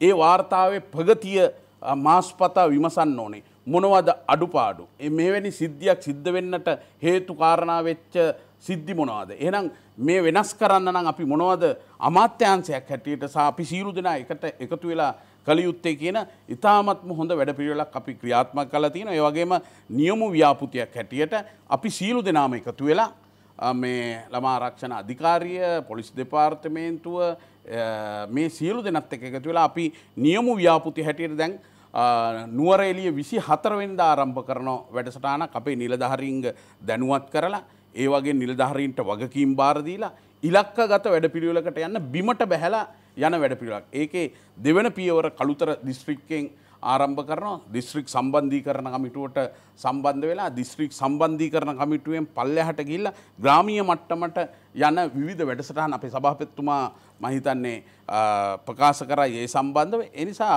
අපි හිතනවා මේ දැන් ඇත්තටම මෙවැනි සිද්ධි බලාගෙන ඉන්නකොට දැන් බලාගෙන හිටිය ඇති මම කියන්න උත්සාහ ගත්තේ මේ දවස්වල මේ රැල්ලක් වගේ නිර්මාණය වෙනවනේ මේ රැල්ල නිර්මාණය වෙනකොට මේ රටේ ජනතාව හිතයි හිතන්න ගනි මේ ඇත්තටම අපි මේ වගකියයුතු ආයතන නිදිද දන්න හැ කියලා. නිදි දන්න හැකල් නෑ. අපි නිදි නෑ. මොකද මීට ප්‍රථම වර්ෂත් එක්ක ගන්නකොට අරමං ඉස්සෙල්ල කිව්වෝගේ මේ වර්ධනයක් නෑ. හැබැයි කූරත්වය තියනො සමහර තැන්වල සිද්ධිවෙල. ඒවගේම තමයි හැබැයි මේ ප්‍රමාණවත් නෑ. මේ තත්ත්වය සම්පූර්ණ වෙනස් කිරීම වගකීම අපි සියලු දෙනාටම තියෙන එක නිසා මම දකින්නේ නීතිය ක්‍රියාත්ම කරන වගේම නීතියේ ක්‍රියාත්ම කරනකොට දඩුවම් ලබා දෙනෝ වගේම මේ සියල්ලට මොඩා වැදගත් වෙන්නේ අපේ ජනතාව තුළ ආකල්පමය වෙනසක් ඇතිකිරීම මේ මල් වගේ දරුවටික ආරක්ෂා කරන. ඔබතුමා සඳහන් කරපු කාරණාවල යම් යම් සාධනය පියවරයන්ත එල තියෙනවා විශේෂමර ප්‍රාදේශික් සංවර්ධන කමිටුවලට ඔබතුමාලගේ අමාත්‍යංශය නියෝජිතයන් කැදවීම පසුවිපරම ප්‍රාදේශය වශයෙන් දරුවන්ට වෙන හානෙන් පිළිබඳව වාර්තා කිරීම සහ සාකච්ඡා කිරීම ඔස්සේ නිවැරද කිරීමට ගන්න සාධනය පියවර ඇගීමට ලක් කළ යුතු එතන මේ පිට සමහර වෙලාට ඔබතුමාල මේ වැඩපිළිවෙල ආරම්භ කරාට යම් සිද්ධියක් ඇතුනාම මාධ්‍යයට වෙලා සාකච්ඡා කරලා ඒ සිද්ධියට අදාළ කරගෙන ඒව ක්‍රියාත්ම කරාට පස්සේ සමහරලාට මේ උණුසුම නැති වෙලා ගියට පස්සේ ඒවා ක්‍රියාත්මක කරනවද නැද්ද කියලා සමහරලාට ඔබතුමාලා හොයලා බලන්න නැති වෙන්න පුළුවන්. ඒ පිළිබඳව තියෙන මොකක්ද නිශ්චිත වැඩපිළිවෙල කියලා අපි කතා කරමු ඊළඟ වටේ නෑ දසුන් අපි ඇත්තටම පසුවි පරමක් සිදු කරනවා. නම් සියලු දේවල් එක පාට වෙනස් කරන්න බැහැ කියන කෙටිකාලීනව මේ සියල්ල වෙනස් කරන්න බෑ. ඒ නිසා අපිට පුංචි කාලයක් අවශ්‍යයි. ඒකයි අපේ ජේෂ්ට පොලිස් නියෝජ්‍ය පොලිස්පත්තුමා කිව්වේ. අපි දෙගොල්ලෝ එකට එකතු වෙලා අනිත් ආයතන වෙලත් සහයෝගය අරගෙන ඉතාමත්ම හොඳ වැඩ පිළිවක් බිම්මට්ටමට ක්‍රියාත්ම කරන්න අපි බලාපොරොත්තු වෙන. මං එලකටට කැමති මහාචාර මුදිත විධාන පත්වය මැත්තුමලකට සභපත්තුමන් ජාතික ළමරක්ෂණ අධිකාරී දැන් අජිත්‍රහණ මැත්තුමන්ගේ ආරම්භේදීම සඳහන් කලා ගල්කිස්ස පොලිසියට වාර්තා වුණු වාර්තාවීමක් එක්ක සිද්ධියක් එක්ක තමයි මේ කටයුත්ත සම්පූර්ණය මේ වෙලාවේ අධික්ෂණයවමින් නීති ක්‍රියාත්මක වෙමින් යන්නේ යම්හයකින් ගල්කිස්ස පොලිසියට මේක වාර්තා නොවනා නම් මේ දැරිය මේ රැත් අලවි වෙනවා. යම් තැනක ඔබතුමාල බරපතල විදිහට පහුගේ කාලසීමාව තුළම දරුවන්ගේ ආරක්ෂාවෙන නොබතුමාල ක්‍රියාත්මකට ක්‍රියාත්මක භාවය පිළිබඳව සමාජගත කළ මේ දුරකතරන්කට කතා කරන්න අපි මැදිහත්වයනවා සියලු කටයුතු වෙනුවෙන් අපි ඔවුන් වෙනුවෙන් ඉන්නවා කියන කාරණබඳි. හැබැයි මේ සිද්ධිය වාර්තා වෙන්නේ නැහැ ඔබතුමාලට. මේ සිද්ධිය වාර්තා වෙන්නේ නැහැ වගේම තමයි මේ වෙලාවෙත් ඔබතුමාලට වාර්තා නොවන සිද්ධි කරනාවක් තියෙන්න පුළුවන්. කර සභාපතිතුමා සමාජය ඔබතුමාලගේ ආයතනය පිළිබඳව විශ්වාසය තියලා නැද්ද? නෑ දසුන් මහිතනවා එක එතරම්ම නිබැරදි නෑය ප්‍රකාශය හේතුව මේ සිද්ධියත් අපටත් වාර්තා වුණා නමුත් අපට එකන ඔබතුමාට වාර්තා වන පොලිසි රිස්සලද වාර්තාවන පසල වාර්ත පොලිසිට පසුවයි වාර්තා වුණේ එකන අපිට දෙන්නේ බාහිර සිටින කවුරහරි පැමිණිලිකරුවෙක්න ඉති අපිටත් වාර්තා වුණා මේක ජනතාව අතරට යන ක්‍රම තුනක් තිබෙනවා. එකක් තමයි අපි අදාළ පොලිසියට යොමු කිරීමක් කරනවා. අනි පැත්තෙන් අපි අපේ අදාළ ප්‍රාදේශය නිලධාරයාට යොමු කරනවා. ඊට අමතරව කිසියම් එහි අධ්‍යාපනය සම්බඳධ ගැටලුවක් ළමා ශ්‍රමිකත්වය පිළිබඳ ගැටලුවක් එවැනි එකක් තිබේ ඒ අදාළ ආයතනයට යොමු කිරීමක් කරනවා. ඉති අපි ඒ සියල්ලම කරනවා මේ වන විට. නමුත් කිසියම් මෝස්ථාවක අපේ මගේ සහෝදර ජේෂ්ඨ නියෝජ්‍ය පොලිස්පත්තුමාගේ කාර්යභාරය හැම විටම ජාතික ළමාරක්ෂක අධිකාරය නියාමනය කරනවා දසුන්. ඒකයි අපි මෙහිති කරන්නේ. කිසියම් අවස්ථාවක ශ්‍රී ලංකා පොලිසිය ළමා විමර්ශන කටයුතුවලදී කිසියම් ප්‍රමාණයකින් අඩුවීමක් වුණොත් අන්න ජාතික ළමාරක්ෂක අධිකාරිය අපේ විශේෂ පොලිස් විමර්ශන ඒකකයක් තිබෙනවා. මෙතුමා හොඳටම දන්න අපි ඒට බාරගෙන ඒ නඩුව අපි විමර්ශනය කරලා ඒ දරුවා බේරාගන්න. ඔබතුමා මේ සිද්ධියෙන් එහාට යනවා දැන් ඔබතුමාලට බරපතල විදිට වාර්තා විච්ච සිද්ධියත්තමයි සය සදුමිනි ඝාතනය සම්බන්ධ සිද්ධිය. එට පත්තේ සිවලෝගනාදන් විද්‍යාදරිය සම්බන්ධ යාපනි වාර්තා විච්ච සිද්ධිය. ඒ සම්බන්ධයෙන් ඔබතුමාලා මේ වෙනකොටත් ඒ අගතිට පත්විචක් පාර්ශවයන් වෙන මොකක්ද ඔබතුමල ගායතන විදිරි මැදිහත් වෙලා තියෙන මැදිහත්වීම නෑ අපි ඒ ඉතාම පැරණි සිද්ධීන් සමහරලාට අතීතයේ ඔබතුමාලගේ භාවිතාව වර්තමානයේ විශ්වාසය පිළිබඳව සාධකයක් වෙන්න පුළුවන් මොකක්ද ඔබතුමාල කරලා තියෙන්නේ. නෑ අපි ඒ සෑම කාර්යක්ම පොලිසිය විසින් ඒ ක්‍රියාවලිය අධිකරණයට යනවා ඒ අධිකරණයේදී කිසියම් අඩු පාඩුවක් සිදුවනම් පොලිසින් කිසියම් අඩු පාඩුවක් සිදුවනම් අපි ඒ සියල්ලම හැම විටම නියාමනය කරනවා. උදාහරණයක් කරගන්න දැන් පෙරේද දිනේ. අපි නාවල පිටිය. කුඩා අවුරුදු දහතුනක දැරිවියක් අපේ යෝජනයට ලක් කරා. ඒ සිද්ධිය පිළිබඳව ඔබ දැක්කා මාධ්‍ය සදාචාරය ඉතාම පහත්තට වැටිලා. අර කුඩා දැරිවිය ඒ ස්ථාන පරීක්ෂාව සඳහා රැගෙන යනවා මේ වීඩියෝ කරලා මාධ්‍යය මුදාහරනවා. දසුන් අපි ලෝක ළමා අයිතිවාසකම් පිළිබඳ ප්‍රඥප්තියත්. ජාතික ළමාරක්ෂක අධිකාරි පනතයත් ගරු අමාත්‍යතුමා අප අද උදෑසනත් සාකච්ඡා කරාපි. අපි සම්පූර්යෙන් පෙනී සිටින්නේ කුමකටද. ළමයාගේ උපරිම යහපත. ඕ අපි ඊට අමතරව නෑ ඒක මයිතට පැදිලි කරන්න ො වගකිවිතු මාධ්‍යාතනක් විදිර අපි කොතනක දෙවත් අනන්තාව තහවුරු කරන්න හෝ අනන්තාව සමාජගත කිරීමෙන් කටයුතු කරලන අපි සියලුම වාර්තා කිරීම් තුළ කිසිම ආකාරයකින් ඒ අගතිට පත් පාර්ශවයන්ගේ අනනතාව හඳුනාගත නොහැකි ආකාරයට ප්‍රවෘතිය වටනාකම පමණක් සාධකයක් විදිහට අරගෙන අපි වාර්තා කරලා තියෙන වගකියුතු මාධ්‍ය ආයතනයක විදිහට මම ඔබතුමාට පිළිවෙල සඳහන් කරනවා. පෙරලා අනෙක් පැත්තෙන් කෙනෙක් ප්‍රශ්න කළොත් මාධ්‍යෙන් ඒක වාර්තා නොකළා නම් ඒ විදිහට අදගෙන ගියේ නැත්නම් සමහරවිට ඕක යට යන්න පුළුවන් කියලාත් කෙනෙක් කියන්න පුළුවන්. නෑදසුන් මා ප්‍රකාශ කරන්නේ ඒ තොරතුර වාර්තා කිරීම මාධ්‍ය වගකීම.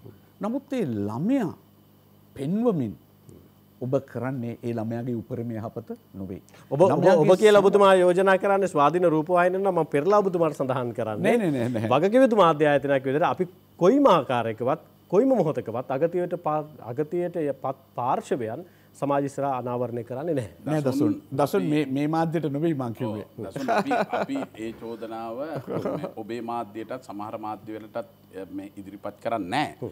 හැබැයි පැහැදිල් ලෙසම මේ මෑත කාලේ සිදුවෙච්ච සිද්ධි දාමේ දිහා අරගෙන බැලුවම් පස්සේ මේ සිද්ධිවලදී මාධ්‍යයේ අ, කාර්යභාරය මංහිතන්නේ ඉතාමත්ම අසෝභනයි. මාධ්‍ය සජාචාරයට සම්පූර්ණ පටහැනී. ඒක නිසා මං හිතනෝ මේ සම්බන්ධ වැඩිය කියන්න දෙයක් නෑ මං ආදරණීය අ, මාධ්‍ය ආයතන අ, වලනියුත් ඒ වගේ මාධ්‍ය ආයතන නියෝජිතය සහ ඒ සීරු දෙනාගෙන් ඉල්ලා සිටරෝ මීට වඩා වගකීමෙන් මේ ඉටු කරන්න ඕන කටයුත්තක්. මේ ගැන කතාකරොත් බොහෝ දේවල් කතා කරන්න තියනවා. මොකද ටෙලිනාට්ටිය ඉඳලා ඔය දැනට ක්‍රියාත්මක වෙන හැම දේකම තත්ත්වය ඉතාම භය- භයානකයි. මෙවැනි තත්ත්ව ඇතිවීමටත් ප්‍රධාන හේතුව මේ මාධ්‍ය. අනිවාර්යයෙන්ම ඒ ඒ පිළිබඳවත් යම් කතිකාවතක් ආරම්භ කළ යුතුයි. මම ඊළඟ වටයේදී ඒ පිළිබඳව යම් තැනක ස්පර්ශ කරන්න සූදානම් කරුවා එමෙතුමනි මම ඔබතුමා ළඟට එනවා. ඔබතුමා පැහැදිලි කරපු කාරණාව අපි පැහැදිලි කරමු. එතනින් පස්සේ දැන් සාපේක්ෂව වර්ෂයන්ට සාපේක්ෂව 2018 2019 2020 යම් තැනක ළමාපචාර වර්ධනයක් ඔබතුමාට වාර්තා වෙලා තියෙනවද නෑ දසුන් ඇත්තටම දෙදස් දහනමේ අටදස් පන්සිය පනස්සටක් අපට පැමිණිලි ලැබුණා. ඒ අනුව දෙදස් විස්සේ අපි අතිදර ජනතපත්තුමා විසින් අප පත් කළේ දෙදස් විසි ජනවරි පලවෙද. එදා සිට ඒ වර්ෂය තුළ අපට ලැබිල තිබෙන්නේ අටදස් එකසිය හැට අටයි. අඩුවීමක් තියෙනවා අඩුවීමක් නමුත් මම මෙහි විශේෂ අඩුවීමක් දක්වනවා. ඒ තමයි ඔබ දන්නවා මේ වනතුරු අපගේ ආයතනයට පැමිණෙන සියලුම පැමිණිලි භාරගත්ති නෑ. අපේ පනතෙන් ලැබෙන වරදවල් දාහතක් තිබෙනවා. ඒ දාහත පමණයි. නමුත් ජනවාරි ගියවර්ෂයේ ජනවාරි අපිෝ පත් කරයින් පස්සේ. දසුන් අපි දුටුවා අපට තියෙන ලොකුම ගැටලුව තමයි සමහර අය කියනවා අපි පැමිණිලි කර පැමිණිල භාරගත්තේ නෑ. මේක අපිට අදාගන්න බැරි ප්‍රශ්නයක් මිනිස්සු එන්නේ මහ විශාල ගැටලුවක් ඔළු වෙතියාගෙන මේක බාර දෙන්න අපි ඇය කියන ඕක බාරගන්න බෑ කියල. අපි තීරණයක් ගත අපි අධ්‍යක්ෂක මණ්ඩලේ හරහා පැමිණෙන සියලුම්ම පැමිණිලි අපි බාරගන්නවා. ඔබ කිවොත් පුදුම වේවි ගිය වර්ෂයේ ඒ අටදස් එකසිය හැට පහි සියට විසි පහ දෙදස් පන්සියක් ඒ අපගේ මැන්ඩේට් එකෙක් නැත නීතිමය බලාත්මක ප්‍රදේශයෙන් ඔබ්බට ගියපු පිටිං තිබෙන දෙවල් එනිසෑම කිව්වේ පැහැදිලිව. පැය විසි අතරම ඒ අඩුවීමක් තිබෙන බව. නමුත් මා ඉතාපත් බ කනගාටුව මේ සතුට පත්වනට බැහැ. මේවා අපේ බලාපොරොත්තුව තමයි ළමයින්ට ළමා හිතකාමී පරිසරයක් සෑදීම. සහ සෑම ළමයෙක්ම සෑම අපයෝජනයකින්ම ඉපත් වෙලා බේරා ගැනීම තමයි අපගේ උපරිම බලාපොරොත්තුව. ගත් සභපතුව දැන් ඒ විදිහට වාර්තාාවච්ච සිදුවීම් සම්බන්ධයෙන් ජාතික ළමාරක්ෂණ අධිකාරයේ සාධනය විදිට මැදිහත් වෙනවද වින්දිත පාර්ශවයන්ට සාධාරණ ඉතු කිරීමෙන් ඔබතුමල ක්‍රියාත්මක නොදගෙන කාරණ සම්බන්ධනොත් යම්තනක විවේචනයක් තියෙනවා මොකක්ද ඔබතුවර්තින උත්තරේ ඔහු ඇත්වශයෙන් අපි ප්‍රජෙක්ස් ගොඩාක් මේ සඳහා ව්‍යාපෘති රැසක් අ, පවතිනවා. ඔබ දන්නවා වින්දිත ළමයකු අප- අපට පැමිණියම අපි එය අදාළ පොලිසිට වාර්තා කරනවා ඒවගේ අපේ නිල්ධාරයට වාර්තා කරනවා අවසානයේදී ළමයා රැගෙන අපි යන්නේ රෝහලට. ඒ රෝහල තුළදී අපි සිද්ධි සමාලෝචන වැඩසටහනක් කරනවා. ඒ අනුව තමයි අපි තීරණය කරන්නේ මේ ළමයාගේ භාරය හා ආරක්ෂාව. ඒ අනුව සමහරවිට අපි ඒ ළමයව ලබා දෙනවා ඒ අදාළ අපයෝජනය වුණු පවුලේ දෙමව්පියන්ටම. ඒ ඒ දෙමව්පියන් අපයෝජනය නොකළ පවුල්වලට. ඒ දෙමව්පියන් අපයෝජනය කරලා තිබෙන නම් මේ ළමයා අප මොකද කරන්න. විශ්වාසත වැඩිහිටියෙකුට මේ ළමයා බාර දෙනවා. එසේ නැතිවුණොත් තමයි අධිකරණය හරහා දසුන් අපි ලබා දෙන්නේ ළමා සංවර්ධන මධ්‍යස්ථානයකට. ඒ විදිහට ඔබතුමාලා නිවාසයකට. ඒ විදිහට ඔබතුමාලා ලබා දෙන දරුවන් සම්බන්ධයෙන් පසුවිපරමක් කරනවද ආයතනයක් විදිහට අනිවාර්යෙන්ම මං හිතනවා ඒක තමයි ජාතික ලබාරක්ෂක අධිකාරයේ දෙදස් විස්ස වර්ෂයේ මං හිතනවා ජයග්‍රාහීම ව්‍යාපෘතිය. මීට පෙර සෑම වර්ෂයකම දැන්ට අවුරුදු විසි එකක් පුරා ළමා නිවාස නියාමනය කර තිබෙනවා. අපි උදාහරණයක් ගත්තු දෙදස් දහනමේ ලංකාවේ ළමා නිවාස තිබෙන තුන්සේ හැට නමය. එයින් එකසිය අනුවයි දෙදස් දහනමේ නියාමනය කරේ ඒ ගැන සියයට පණහයි. ඊට අමතුර ඒ සඳහ වීදන් කරලා තිබෙනවා මිලියන එක හමාරක්. නමුත් අපි දෙදස් විස්සේදී ඩිජිටල් පලට්ෆෝර්මක් හැද ඕඩිකේ කියලා. ඒවයි අරමුණුගත ප්‍රශ්නවලින් උතුරෙ කරත් දකුණෙ කරත් නැගෙනහිර කරත් බටහිර කරත් එක්කම නියාමනය ඉහි ලැබෙන්නේ. එය අපගේ නිලධාරීන් විසින් සති කීපයක් තුළ මුළු ලංකාවේ තිබෙන සියලුම ළමානිවාස අවසන් කරලා කිසිම වියදමකින් තොරව අපි ඒ වාර්තාව සියලුම පලාත් පරිවාස අධ්‍යක්ෂවරුන්ට ඊට අමතුරුව රජයේ අපගේ පරිවාස කොමසාරිස්වරයාට මේ සියලුමයිට අපි වාර්තා ඉදිරිපත් කළ දෙෙන. දෙදස් විසියක වර්ෂය නැවත අපි තුන්සිය හැටනමේම මාර්තු තිස්සක වඩලා වන විට අපි අවසන් කරා. ඔබ පිළිගන්නවාද මේ වර්ෂයේ. දහදස් විසි අටක් ලංකාවේ මේ ළමා සංවර්ධන මධ්‍යස්ථාන සහ රජයේ නිවාසවල ළමයින් සිටිනවා. ඒක පොඩි දෙයක් මට කියන්න. මේ ළමෙක් ළමා නිවාසයකට යවන්නේ හැම විටම අවුරුදු තුනකට මහා ජීවිත කාලයට නොවේ. නමුත් ඔබ දන්නවද එයින් හාර්දාස් නමසය අනු නමයක් එනම් සියයට පණහක් අවුරුත් තුනකට වඩා වැඩි කාලයක් ඉඳල තිබෙනවා. ඊට අමතුරු මේ ළමයි නැවත සමාජකත කරන්නට එහිතිබේ නොස් ප්‍රතිස්ථාපන කමිටු රීන් ස්ටේට් කරන්න කොමිනිටිය එක. නමුත් ඒව රැස් වෙලා තිබෙන්නේ. සීයට හැටක වසරකට තුනක් රැස් වෙලා නෑ මා මේ කියන්නේ පැමිණිල්ලක් ලෙස නොවේ අපි රිෆලෙක්ෂන් කෙල එකක් කියනවා. එනම් අතීතයේ වැරදිවලින් අපි අනාගතය හදාගතයුතු. අනිවාරයම වැරදිවලින් හදා නොගන්නා ආයතන හෝ රට දියුණු නොවේ. ඒ නිසා මා ආරාධනා කරනවා සියලුම දෙනාගෙන් අපිට වරදින්නට පුළුවන්. නමුත් අපිට හෙට ඒ වැරදි හදාගෙන දැ සභාපත නැගටින්නට අනිවාර්ය සභපතුව දැ ඔබතුමාලට වාර්තා වෙන මෙල් ළමා අපචාර සම්බන්ධයෙන් ඔබතුමාලගේ පූර්ණ අධ්‍යයනයක් කරපුහාම වැඩිපුරම මේවට ගොදුරුවන දරුවන් එහි ගොදුරු බවට පත් කරගෙන තින ආශ්පිතයන්ද බාහිර සමාජයද කුඩුම්බේද මොකක්ද. ඇත වශයෙන්ම දසුන් ඒක මහ විශාල ප්‍රශ්නයක් නුවේ. ලෝකය පුරාම ළමා අපයෝජනයෙන් සිදුවන්නේ භාරකරුවන් හා වැඩිහිටියන් වගේ. අන්න එතන තමයි මට එන්න ඕන වෙලා තිබුණේ. මං ඒ ප්‍රශ්ය තරගෙන යනවා රූමි රූබන් මහත්මයා ළඟට. ඇයි Tamanට රැකවරණය දෙන්න ඕන දෙමව්පියන්ගේ ඒ කුටුම්බය ඇතුලේ සමහර වෙලාවට තාත්තා දරුවා ගුදුරු කරගන්නේ. පිස්සෙක්ද. ඇත්තටම මේ ලෝකයේ මේ වගේ සිද්ධි පිළිබඳ අධ්‍යයනය තුළින් පෙනී ගිහිල්ලා තියෙනවා මේ ළමයි ගොදුරු කරගන්න විශේෂම කාම අපචාරවලට ළමයි ගොදුරු කරගන්න පුද්ගලයෝ බොහෝමයක්ම නිවස තුළින් බිහි වෙලා තියෙන. ඒ කියන්නේ තුනෙන් එකක්ම පවා නිවස තුළින්. එයට අමතරව අසල්වැසියෝ නෑදෑයෝ අවට අය ඒ වගේම රැකවරණය දෙන්න ඉන්න අය තමයි මේ අපචාර කරන්නේ.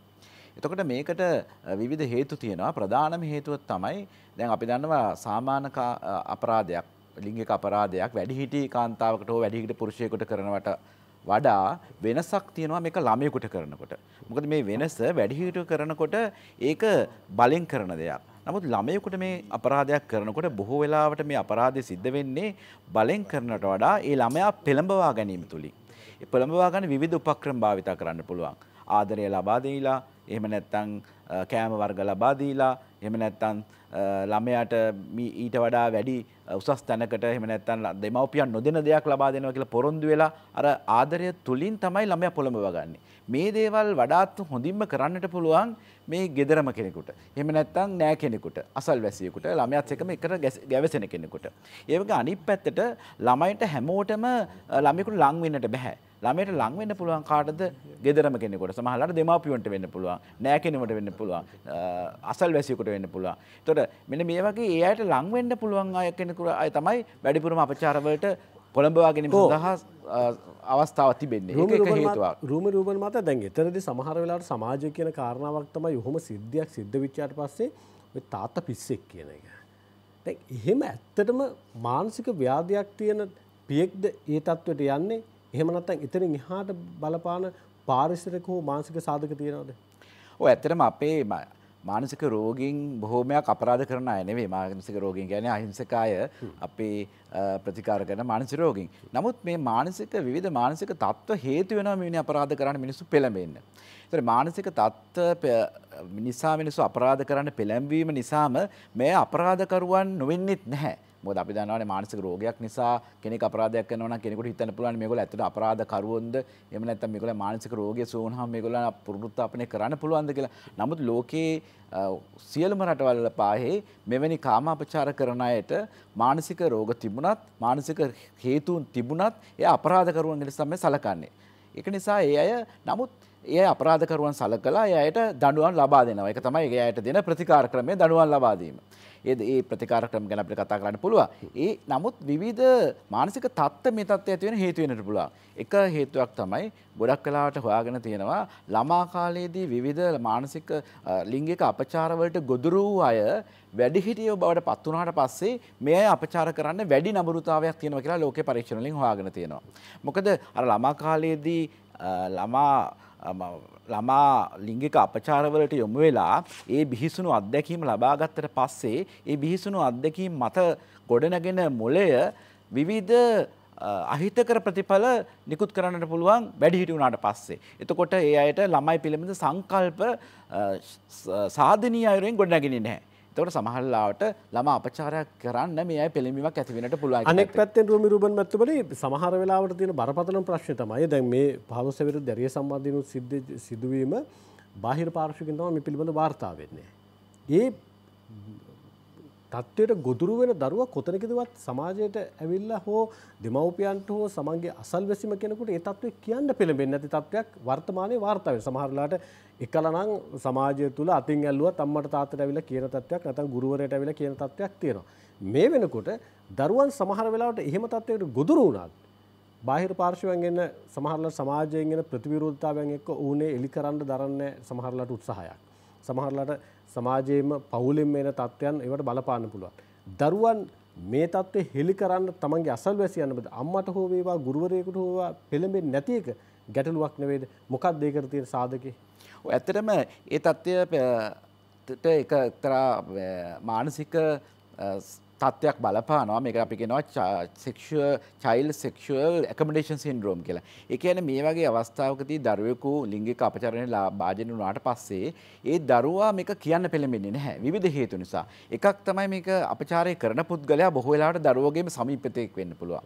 එතකොට මේ සමීපතාවය ඒ සම්බන්ධතාවයට හානි වෙයි කියලා බයට කියන්නේ නැහැ. අපිටම බාප්ප කෙනෙක් සීය කෙනෙක් තාත්තා වෙන්න පුළුවන්. ඒ සම්බන්ධතාවයට හානි වෙයි කියලා බයට කියන්නේ නැහැ. අනිත් එක තමයි හිම සමීප කෙනෙක් පිළිබඳ තව කෙනෙකුට කිව්වොත් සමහරට අම්මට කියනවා කියලා හිතන්නකෝ අම්ම පිළිගනීද කියලා දරුවට හිතෙන්න පුළුවන්. මම මේක කියන්න පුළුවන් නමුත් මේක පිළිගනීද? මේක පිළිගන්න එකක් නැහැ. අනිත් දේ තමයි මේ අපචාරය කරන පුද්ගලයා මේ කරන අවස්ථාවේදී මේ දරුවත් මේකේ පාර්ශවකරුවෙක් කරගන්නවා. ඒතර දරුවාට කියනවා මේ පුද්ගලයා ඔයත් මේකට සම්බන්ධ වුණා. මේක කිව්වොත් එහෙම ඔයත් මේ ඔයත් වැරදිකාරයෙක් ඒක දරුවටත් හිතෙනවා මේක මං කාටවත් කිව්වොත් මමත් වැරදිකාරයෙක් වෙනවා. මාත් පොලිසියෙන් අරගෙන යාවි. මටත් දඬුවම් ලැබෙයි. මාත් නරක ළමයෙක් වෙනවා. මමත් පවක් සිද්ධ කරලා තියෙන්නේ. ඒතර දරුවා කියන්න පෙළඹෙන්නේ නැහැ. ඒක තනිත් අවස්ථාවලදී සමහර වෙලාවට මේ අප්‍රචාරය කරන පුද්ගලයා තර්ජනය කරනවා. මේක කාට හරි කිව්වොත් මම ඔයාගේ අම්මා මරනවා. එහෙම නැත්නම් තාත්තා මරනවා. ඒ වගේ තව ඔබව කොහේ හරි අරගෙන යනවා. මේ වගේ තර්ජනය කරනවා. මේ තර්ජනය කිරීම තුලත් එක්තරා අවස්ථාවකදී දරුවෝ බය වෙනවා තවත් කෙනෙකුට කියන්න. නමුත් වැදගත් දෙයක් තමයි දරුවෝ මේවා තවත් කෙනෙකුට කියනකොට මේවා එකපාරට කියන්නේ නැහැ. ඒක විද්‍යාත්මක තියෙන දෙයක්. ටිකෙන් ටික කියන්නේ එක්තරා ක්‍රියාවලයක් මගේ. සමහරවිට දරුවෝ ඉස්සෙල්ලම බඩේ රිදීමක් වෙන්න පුළුවන් කියන්නේ. එහෙම නැත්නම් මුත්‍ර කරනකොට රිදීමක් වෙන්නට පුළුවන්. ලේ පිටවීමක් වෙන්න පුළුවන්. තවත් ටිකක් දවස් ගියාට පස්සේ අර වැඩිහිටි පිරිමියාගෙන් ඈත් වීමක් වෙන්නට පුළුවන්. ඒ පිරිමි පාර්ශවයේ ප්‍රතික්ෂේප කිරීමක් වෙන්නට පුළුවන්. එහෙම නැත්නම් එයාගේ විවිධ ගති ලක්ෂණ පෙන්වනවා. නිින්ද නොයාම වෙන්න පුළුවන්, කෑම කන්නේ නැති වෙනවා, තරහ යනවා, සමහරලාට අර හොඳට ඉන්න ළමයි ඇඳේ මුත්‍ර කරන්න පෙළඹෙනවා. ඒ කියන්නේ ළමා කාලයට යනවා. ඇගිලි උරන්න පෙළඹෙනවා සමත් සමහරු එක පාටම කතා නොකර ඉන්නට පුළුවන්. පාසලේ හොඳට වැඩ කරපු ළමෙක් වැඩ කිරීම අතහැරලා දාලා වෙන්න පුළුවන්. මෙන්න මේ වගේ ලක්ෂණ කෙටි කාල නෙවෙයි දරුවන්ගේ ඇති වෙනවා. ඔය සමහරවිට කාන්තා දරුවෝ වගේම ගැහණු දරුවෝ වගේම පිරිමි දරුවෝත් අපයෝජනයට ලක් වෙන්න පුළුවන්. ඔබතුමා ඔය කියපු ලක්ෂණ පිරිමි දරුවන් තුනත් විද්‍යාමාන වෙන්න පුළුවන්ද? ඔව් මේක පිරිමි දරුවෝ දැන් ගොඩක් රටවල ලෝක සෞඛ්‍ය සංවිධානය කරපු සමීක්ෂණයක අනුව ගැහැන් ළමයින් පස් දෙනෙක්ගේ එක්කෙනෙක් තමා කාලේදී අපචාරය ලක් වෙලා කියලා හොයාගෙන තියෙනවා. පිරිමි ළමයින්ගේ 20කින් එක්කෙනෙකුට අපචාරයකට ලක් වෙලා කියලා හොයාගෙන තියෙනවා. ඒතර මේක බහුල සිදුවීමක්. ඉතින් මේ දරුවෝ මේක අර කෙලිම වචනයෙන් කියන්නතු සමහල්ලාට ඔුන්ගේ හැසිරීම තුළ දෙමවපියන්ට අඳුරගන්නට පුළ තොට දෙමවපියන් යුතුකම වැඩිහිටියොන් යුතුකම ගුරුවරුන් යුතුකම රැමත්තුමා කිව් වගේ මේ පිළිබඳ දරුව පිළිබඳ සැලකිල් ලිගිල් එක. මොද විධ පරිශණ වලින් හවාගෙන තියෙන විදිට මේ කලිනුක් කතා කර විදිට මේ දරුව ගොඩක් වෙලාවට දෙමවපිය ආදරේ නැතුව ඉන්න දරුව. සමහල්ලාට අම්මා රට වෙන්න පුළුවන්. ඉන්න විදේශ සේවයට ගිහිල්ලා. එම නැත්තන් තාත්තා බොනවා පවුල විසිරිලා තියෙන්නේ. එහෙම නැත්තන් සමහල්ලාට විධ මානසික ආබාධ තියෙන අය බුද්ධ හීනතාවෙන් පිළෙන දරුවෝ. මේ වගේ ගොදුරු කරගන්න පහසු දරුවෝ ඉන්නවා. ඒවගේම විවිධ ආර්ථික දුෂ්කරතාවයෙන් පෙළෙන අය. මේ වගේ ගොදුරු කරගන්න දුෂ්කර දරුවෝ හොයාගෙන තමයි මේ දූෂකය යන්නේ. අර කලින්කිව වගේ මේ සමහර දූෂකයෝ සමාජ විරෝධී පෞරුෂත්ව තියෙන අය. මේ අයට අනිත්‍යගේ දුක තේරෙන්නේ නැහැ. අනිත්‍යගේ හැඟීම් තේරෙන්නේ නැහැ. එතකොට දරුවෙක් තුලින් සතුටක් ලබා ගන්න උත්සාහ කරනවා. ඔබතුමාලා යම් තැනකද මේ සිද්ධිත් එක්ක ඉන්න නිසා ඔබතුමාලත් මේ වාර්තා වෙන නිසා එක් පැත්තකින් ඔබතුමාලා අන් අයගෙත් මනස සම්බන්ධයෙන් ඔබතුමාලා කියවීමක් තියෙන නිසා එක් තැනකදී දරුවෙකුගේ වෙනස් වීම අම්මට හෝ තාත්තට හෝ හඳුනාගන්න ඔබතුමා බාහිරින් සඳහන් කරන්න යම් සාධක ටිකක් ඒ මත පදනවල හඳුනාගන්නට පුළුවන්. දරුවෙකුට යම් කෙනෙක් තමන්ව ඩැහැගණ්ඩ එනවයි කියලා බාහිර පාර්ශවෙන පුද්ගලයෙක් හඳුරගන්න පුළුවන් ක්‍රමවේදයක් තියෙනවා. ඕ ඇත්තටම මහිතනි දරුවන් මේකින් වලක්වා ගැනීම ඉතාමත්ම වැදගන්න. එතකොට අපි දරුවෝ අප දරුවන්ට හොඳ අධ්‍යාපනය ලබා දෙන්න ඕන කොහොමද මේ දූෂක හඳුනාගන්න අපි කලින් කිව්වේ එක්තරා වර්ගික දූෂකයෝ තවත් වර්ගයක දූෂකයෝ ඉන්නවා මේගොල්ල ෆීඩ ෆීලික් කියන්නේ මේගොල්ල ලිංගික ලිංගික සතුට ලබාගන්නේ දරුවන්ගේ විතරයි. මේ අය තමයි සමහල්ලාවට මේ ළමා නිවාසවල සේවයට එන්නේ එහෙම නැත්තම් ඒ සම්බන්ධ වැඩ කරන අර රාජ්‍ය නොවන සංවිධානවල සේවයට එන්නට පුළුවන්. එහෙම නැත්තම් අර සමහරලාට තනිව දරුවෙක් එක්ක ජීවත් වෙන මවක් කසාද බඳින්න පුළුවන් දරුවෝ හොයාගෙන මේ අය මේගොල්ල ෆීඩ ෆීලික් කියන්නේ මේ අයට ඒගොල්ලෝ විද්‍යාත්ම මේ ජීව විද්‍යාත්මක මොලේ හැදිලා තියෙන්නේ දරුවන්ගෙන් සතුටු වෙන්න. මේ අය එක කොටසක්. අර අවස්ථානුකූලව දරුවන්ගෙන් සතුටු වෙන අය තව කොටසක්. මේ දෙගොල්ලම හඳුනගන්න දරුවන්ට අපි කියල දෙන්නට පොඩි කාලෙදින. අන්නේ කියවීම තුළ දරුවනේ දුවපුතේ ඔබ මෙන්න මේ පිළිබඳව අනිවාර්යම සැලකිලිමත් වෙන්න කියලා වෛතුමනි කියන්න පුළුවන් මොනවද දරුවන්ට අනිවාර්ය සාධක. ඔය ඇත්තටම අපි දැන් ලිංගික අධ්‍යාපනය ගැන කතා කරනවානේ. ලිංගික අධ්‍යාපන සමහරු කියනවා ලිංගික අධ්‍යාපන කියලා දෙන්න ඕනේ මේ ලිංගික ලිංගික එකතු වෙන විදිය කියලා. ඒක එක්තරාන්තයක්. තවත් සමහරු කියනවා ලිංගික අධ්‍යාපනය දෙන්නම එපා කියලා. ඒක තවත් අන්තයක්. මේ දෙක මැද දරුවන්ට දෙන්න ඕන ලිංගික අධ්‍යාපනයේ ප්‍රධානම කොටස තමයි මේ මේ දේවල් වලින් ආරක්ෂා වෙන්නේ කොහොමද කියලා. එතකොට දරුවෙකුට තමන්ගේ ශරීරයේ ස්පර්ශ නොකළ යුතු කොටස් මොනවද කියලා හඳුන්වා දීලා. රහස් කොටස් වසා තැබිය යුතු කොටස් හඳුන්වා දීලා. මේවා කෙනෙක් ස්පර්ශ කරන්න එනවනම් එහෙම නැත්නම් තමන්ගේ දෙමව්පියෝ නැති වෙලාවක අනවශ්‍ය පරිදි ආදරය කරන්න එනවනම් එහෙම නැත්නම් කිසියම් දෙයක් රහසක් දෙමව්පියන්ට කියන්න නැතුව රහසේ තියාගන්න උත්සාහ කරනවා නම් ඒ පිළිබඳ දරුවෝ සැලකිලිමත් වෙන්න අපි කියලා දෙන්න පුළුවන්. කුඩාම අවදියේ ඉඳන් අවුරුදු 3 4 ඉඳන්ම. ඉස්සෙල්ලම කියන්න ඕන අම්මට තාත්තට කියන්න එපා පුතේ මේක කියලා කිව්වොත් ඒක ගිහින් කියන්න. ඔය ඇතරම දරුව කොහොමත් එපා කියන දේවල් කරනවා නමුත් එතකොට මදුරගන්න ඕන මේ මොකහරි හොරයක් තියෙනවා කියලා මොකහරි අපරාධයක් කරන්න තමයි එන්නේ කියලා. ඒ වගේ දෙමව්පියන්ගේ යුතුයකම තමයි තමන්ගේ දරුවෝ ආශ්‍රය කරන්නේ කවුද? ගොඩක් දෙමව්පියෝ කරන්නේ ඕනම තැනක යන්න දෙලවනේ. නෑදෑයෝ කිව්වම ඕන කෙනෙක් විශ්වාස කරනවා. ඕන විදිහක ස්පර්ශ කරන්න දෙනවා. තමන්ගේ වාසියට. ඉතින් ඒ වගේ අවස්ථාවලදී දෙමව්පියන්ගේ යුතුයකම තමයි කොයිතරම් කාර්යබහුල වුණත් තමන්ගේ දරුවෝ ආරක්ෂා කර ආර්ශ්‍රය කරන්නේ කවුද යන්නේ කොහෙද දරුවන්ට කෑම දෙන්නේ කවුද දරුවන්ට සලකන්න උත්සාහ කරන්න කවුද කියලා සැලකිලිමත්ව ඉන්න එක. ඉතින් මේ දේ මේ සංවාදය දරුවෝ දෙමාපියවත් අතර සිද්ධ වෙන්න ඕන. සමහරවිට දරුවන්ට තමන්ගේ ප්‍රශ්නයක් දෙමාපියට කියන්න බෑ. කුමක් හරි කිව්වොත් එහෙම දරුවා ඇඟට කඩන් පාන්න දෙමාපියෝ ඉන්නවා. මේ වගේ අවස්ථාවකදී දරුවට ප්‍රශ්නයක් වුණත් ඒක කියන්න කෙනෙක් නැති වෙනවා. සමහරවිට පාසලේ ප්‍රශ්නයක් යාළුවෙක් එක්ක තියෙන ප්‍රශ්නයක් කාටවත් කියන්න කෙනෙක් නැතුනහම අර වගේ දූෂකයට වෙන්න පුළුවන් කියන්නේ. ඒ අය වෙන්න පුළුවන් ඇහුම්කන් දෙන්නේ. ඉතින් ඒ වගේ දේවල් වලදී දරුවෝ පිළිම සැලකිලිමත් වෙන එක ඉතාමත්ම වැදගත් දෙමාපියෝ සහ අවට ඉන්න අය ගුරුවරු. ඒතර ගුරුවරුත් යම්කිසි දරුවෙකු වෙනස්කම් වෙනවා නම් දැන් විශේෂ වෙනසක් තියෙනවා දැන් මේ ලිංගික අපචාරයට භාජනය වෙන දරුවෝගේ අර අපි කලින් කියපු නැති වෙනසක් තමයි ඒ අය අර ලිංගික කරණයට භාජනය වෙන්න පුළුවන්. ඒ කියන්නේ සාමාන්‍ය ඒ වයසේ දරුවෙකු කරන ප්‍රමාණයට වඩා ලිංගික කටයුතු වලට මේ අය වැඩිපුර භාජනය වෙන. ඒ කියන්නේ ලිංග ප්‍රදේශ අල්ලන්න වෙන්න පුළුවන්. අසභ්‍ය දේවල් කියන්න වෙන්න පුළුවන්. අසභ්‍ය වීඩියෝ බලන්න වෙන්න පුළුවන්. ඒ වයසට සාපේක්ෂවට වඩා ලිංගික කටයුතු වලට. මෙන්න මේ වගේ දරුවෙක් ඉන්නවා නම් දෙමාපියෝ සැලකිලිමත් වෙන්න ඕන. මොකද මේ දරුවා මෙහෙම වෙනස් වෙලා තියෙන්නේ. මොකක් හරි දෙයක් සිද්ධ වෙන්න පුළුවන්. මොකද මේ මේ පාසලේදී මෙහෙම අනවශ්‍ය විදිහට හැසිරෙන්නේ. සමහරලාට අපචාරයේ ලක් වෙන දරුවෙක් වෙන්න පුළුවන්. මෙන්න මේ වගේ දරුවෙක් කොහොමද අඳුරගන්න කියලා අඳුරගෙන මේ වෙනස්වීමට හේතු අඳුරගෙන තාමත් වැදගත් ඒ පිළිබඳව සැලකිලිමත් වෙලා දරුවට ආදරෙන් අහන එක. දරුවට කියන්න දේවල් ඇති. ඒ දේවල් ඇහුම්කන් දෙන එක වැදගත්.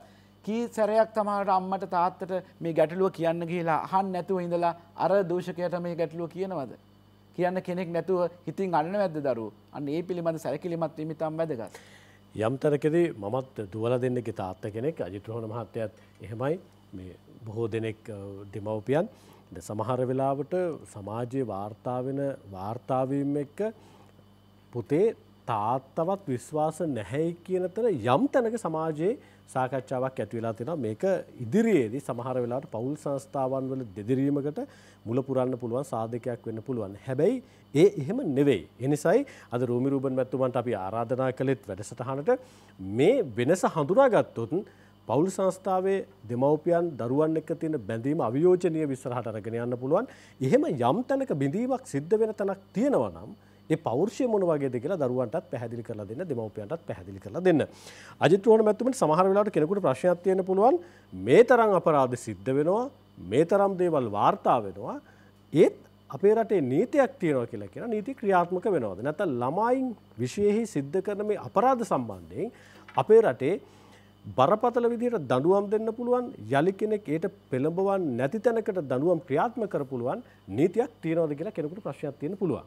මං කැමති ඒක තැනකදී අ, පොලිස් මාධ්‍ය ප්‍රකාශකවරයා විදිහට පොලිසිය භාවිතාවත් අනෙක් පැත්තේ නීතිඥවරයෙක් විදිහට නීතිඥවරයෙක් විදිහට නීති භාවිතාවත් පිළිබඳව ඔබතුමාගේ පැහැදිලි කිරීමක් අපේක්ෂා කරන්න මේ විරාමෙන් පස්සේ.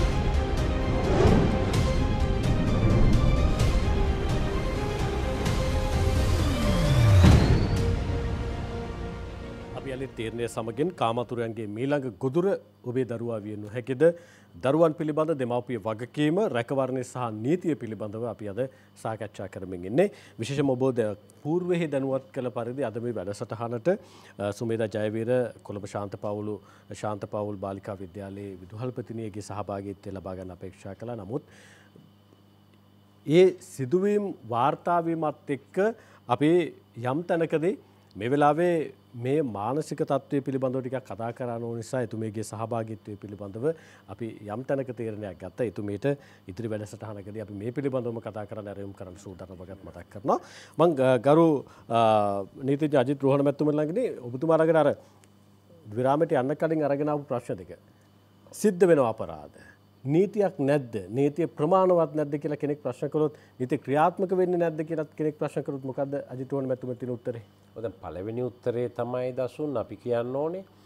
මේ දැන් අපි මේ ළමා අපචාරාපයෝ යෝජන මේවා ගැන කතා කරනවා.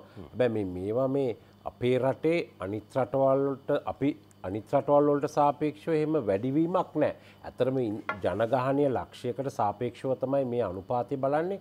ඉන්දියාව බංගලාදේශය අ, පිලිපීනය මේ වගේ රටවල් එක ගත්තහම අපේ තත්ත්ව ඉතාම හොඳයි. ඕ ඉන්දියාවේ හෑම විනාඩි දොළහකට වරක් සමාචාර අපචාරය සිද්ධ ඒක මම මේ කියන්නේ. ඉතින් දැන් දැන් අර එහෙ එහෙ ජනගහනය බිලියන් ගාණක් තියෙනවා අපේ ජනගහනය. ඉතින් නමුත් අපි සාමාන්‍යයෙන් බලන්නේ ලක්ෂයකට කොච්චර වෙනවද කියලා. එතකොට මේ අපේ අනුපාතය ඊටාම සුළුයි.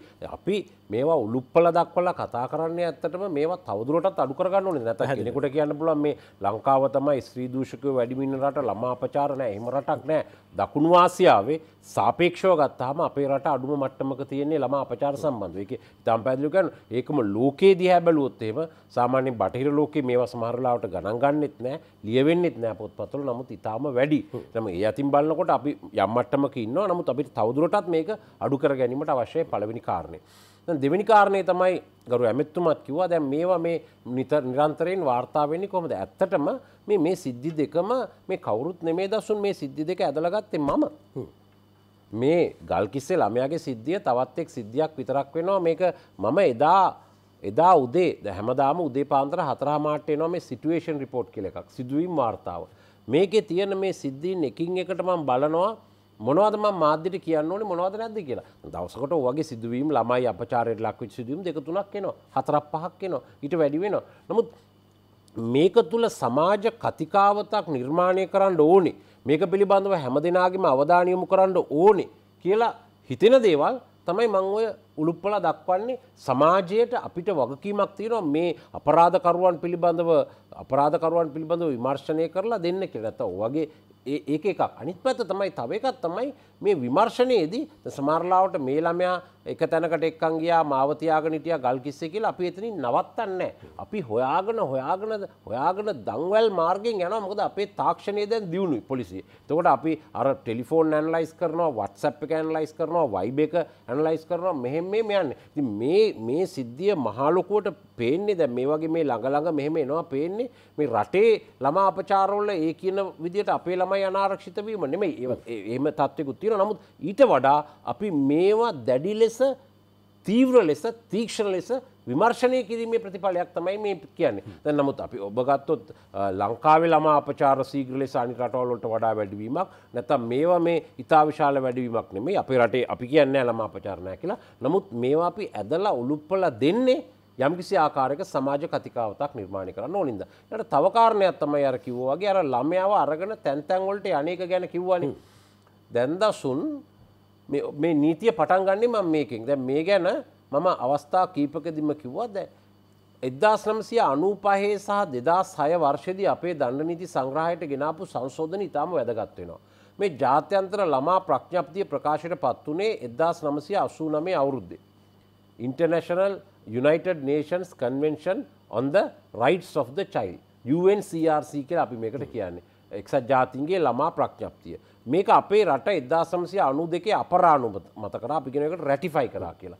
දැන් ජාත්‍යන්තර ප්‍රඥප්තියක් රැටිෆයි කරට පස්සේ අපරාණු මත කරට පසේ අපට අදක බැඳක නිකං ඉන්න බෑ දැන් අපි ඔය එක ගිවිසුම් ගහනවනේ තව රටවල් එක් ඒවයිතින් ඒරටත් ඔහ කම්මලිකමින් ඉන්න අපිත් කම්මලිකමින් ඉන්නවන ඒව එතනින් සාමාන්‍යෙන් එහෙම යනවා නමුත් ප්‍රඥප්තියක් අනු අපරාණුමත කරට පස්සේ අපි අවුද්ධෙන් අවුද්ධ දෙන්නඩනේ අපි මොනවද ගත්ත ඇක්ෂන් කියලා. තුර ඒ අනුව තමයි මේ එදදා සමසය අනුපහහි සංශෝධනය ගෙනාව ළමයා කියනෙකට ලොක පුල්ල අර්ථයක් දුන්න කවද ළමයා කියන්නේ අවුරුද්ධහට අඩු කෙනෙක් කියලා. ඒ වගේ මේකත් එක් එදදාත්නමසය අනුපහහි සංශෝධනය ගෙනාපු වැදගත්ම වගන්තියත් නවා ඒ වගන්තිය තමයි මේ තුන්සිය හැටපා ඇය යන්න වගන්තිය.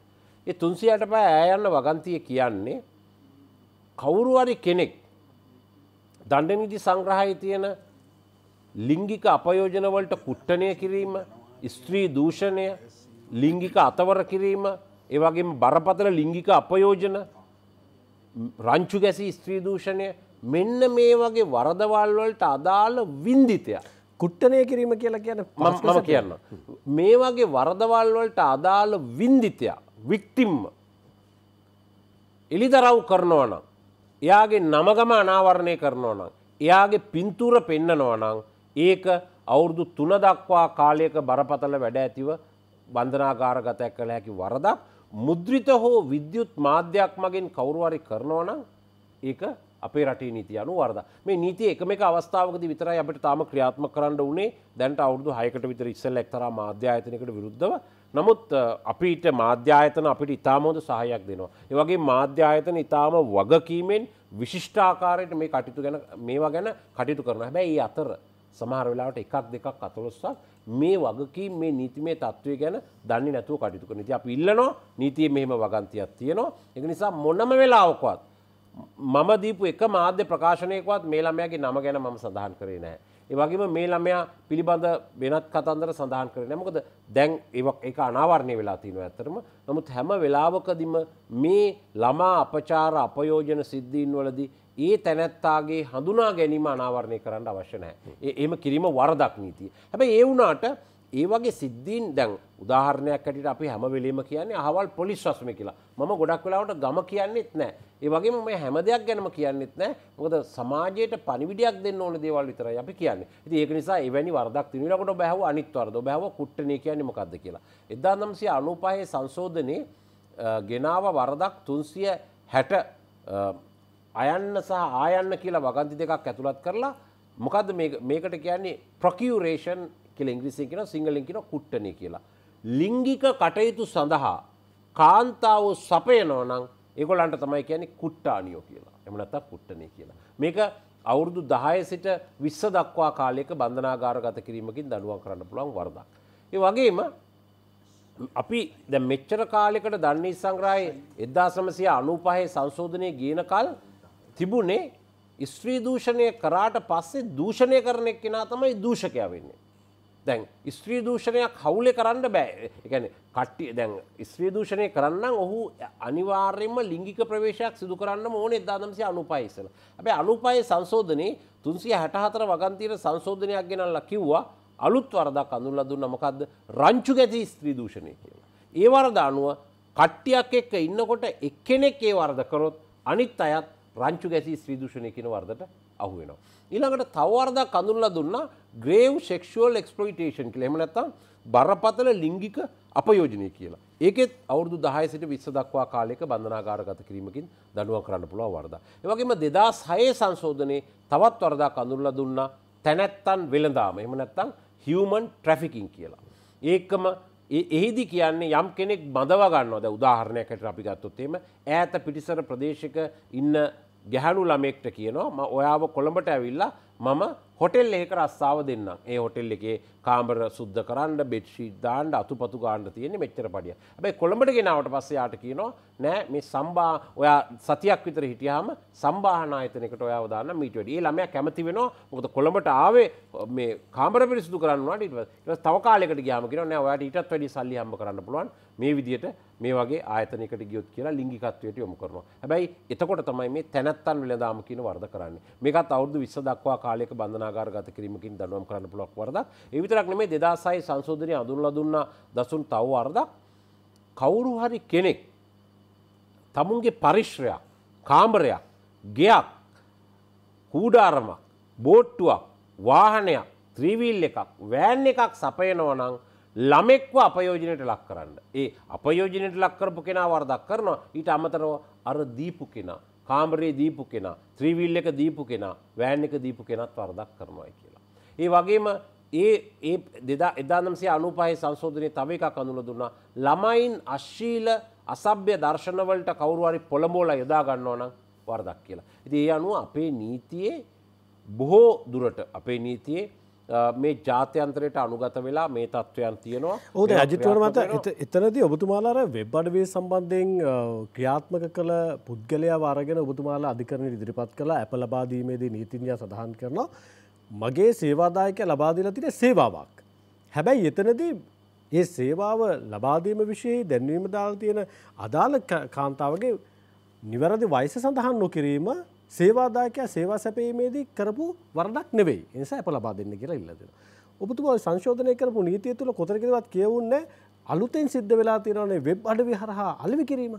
ඒම අලවි කරනයි සමාලට ඒක වෙබ් අඩවියක් විතරක් වෙන්න පුළුව ත වෙබ් අඩව ක්‍රියාත්මක වෙන පුළුව මේ වෙලාවෙන් මොකක්ද තියෙන දඩුවම එහෙම කියලා එහෙම කියලා මේ වැරදි කරලා කවරුවරි මොක් හරි වරදක් වුණට පස්සේ ගොලන්ට විත්තිවාචකයක් ගේට පුළුවන් උසාවේද ඒ විත්තිවාචක උසාවිය නඩුවේද පිළිගන්නවාද නැද කියන එක එක වෙන කතාවක්. හැබැයි එහෙම කියලා ඕනෙම කෙනෙකුට කියන්න පුළුවන් අපි දන්නේ නෑ. මේ මම ගාව අපි මේ ගාව තිබිච්ච තුවක්කුව අපි දුන්නේ එයාව මරයි කියලා හිතල නෙමෙයි. හරිද? ඒක අපි දුන්නේ මෙයාගේ ආරක්ෂාවට තමයි මේ මැරුවට පස්සේ කියලා නීති විරෝධී ගිනියවියක් දීලා ඒකට ඒවා කියන්න බෑ. නීති විරෝධි කටයුත්තක් වෙලා තියෙනවා. තුර ඒකට ආධාර අනු බලදීම මේ ඕනෑම කටයුත්තකට ආධාර අනු බලදීම වර්ද ඒගොල්ලන්ට පුළුවන් විත්තිවාචික ඉදිරිපත් කරලා අධිකරණය ඒගොල්ලො කියන විත්තිවාචිකය පිළිගන්නවන.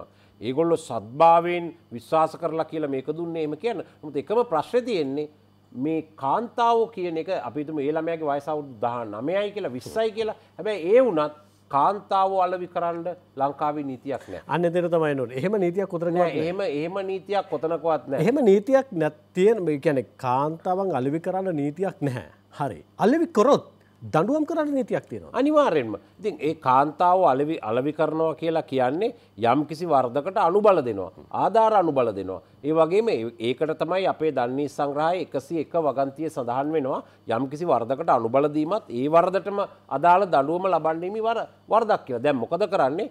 කාන්තාවන් සැපීම කියන වරද තහනම් කරලා තියෙනවා දන්නේ සංග්‍රහය තුන්සිය හැට ආයන්න වගන්තියෙන් එතමයි ගැන කුට්ටනය තුර දැම් මේ කරන්න මොකක්ද වෙබ්බඩුවෙන් කරලා තියෙන කුට්ටනය සඳහා ආධාර අනු බලදීම.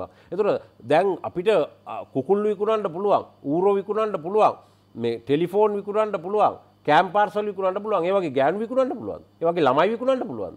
ළමයි ළමයි බාණ්ඩ හැටිට විකුණට බෑ. වහල් වෙළදාම තිබිච්ච කාලයක් තිබුණා. ඔය බ- රෝම ඉතිහාසය තුළ කාලිකට ඉස්සල ඒවා සම්පූර්ණයෙන්ම ස්ලේවර කියන එක නැවතිලා තියෙනවා. එහෙම විකුණන්ඩ බෑ. එහෙම විකුණනවා නම් ඒක වරදක්. ඒ විකුණන්ඩ කවරුවාරි රිජුවහරි වක්‍රවාහරි උදව් කරනවා නම් ඒක අනුබලදීමේ වර්ධ කරනවා. ඉති ඒ අනුව එහෙම වෙබ් අඩවිවලායට කියන්න බෑ. අපි දන්නේ නෑ කියල එකක් තමයි වයස ගැන. ඒකේ ගොල්ල විත්තිවාචිකලින් ඔප්පු කරන්න. වයසවුරුදු විසිපහක කෙනෙක් වුණත් ඇයව ලිංගිකව අලවි කරන්න වෙබ් අඩවිවල ප්‍රචාරය කරන්න බෑ ඒක වර්ද.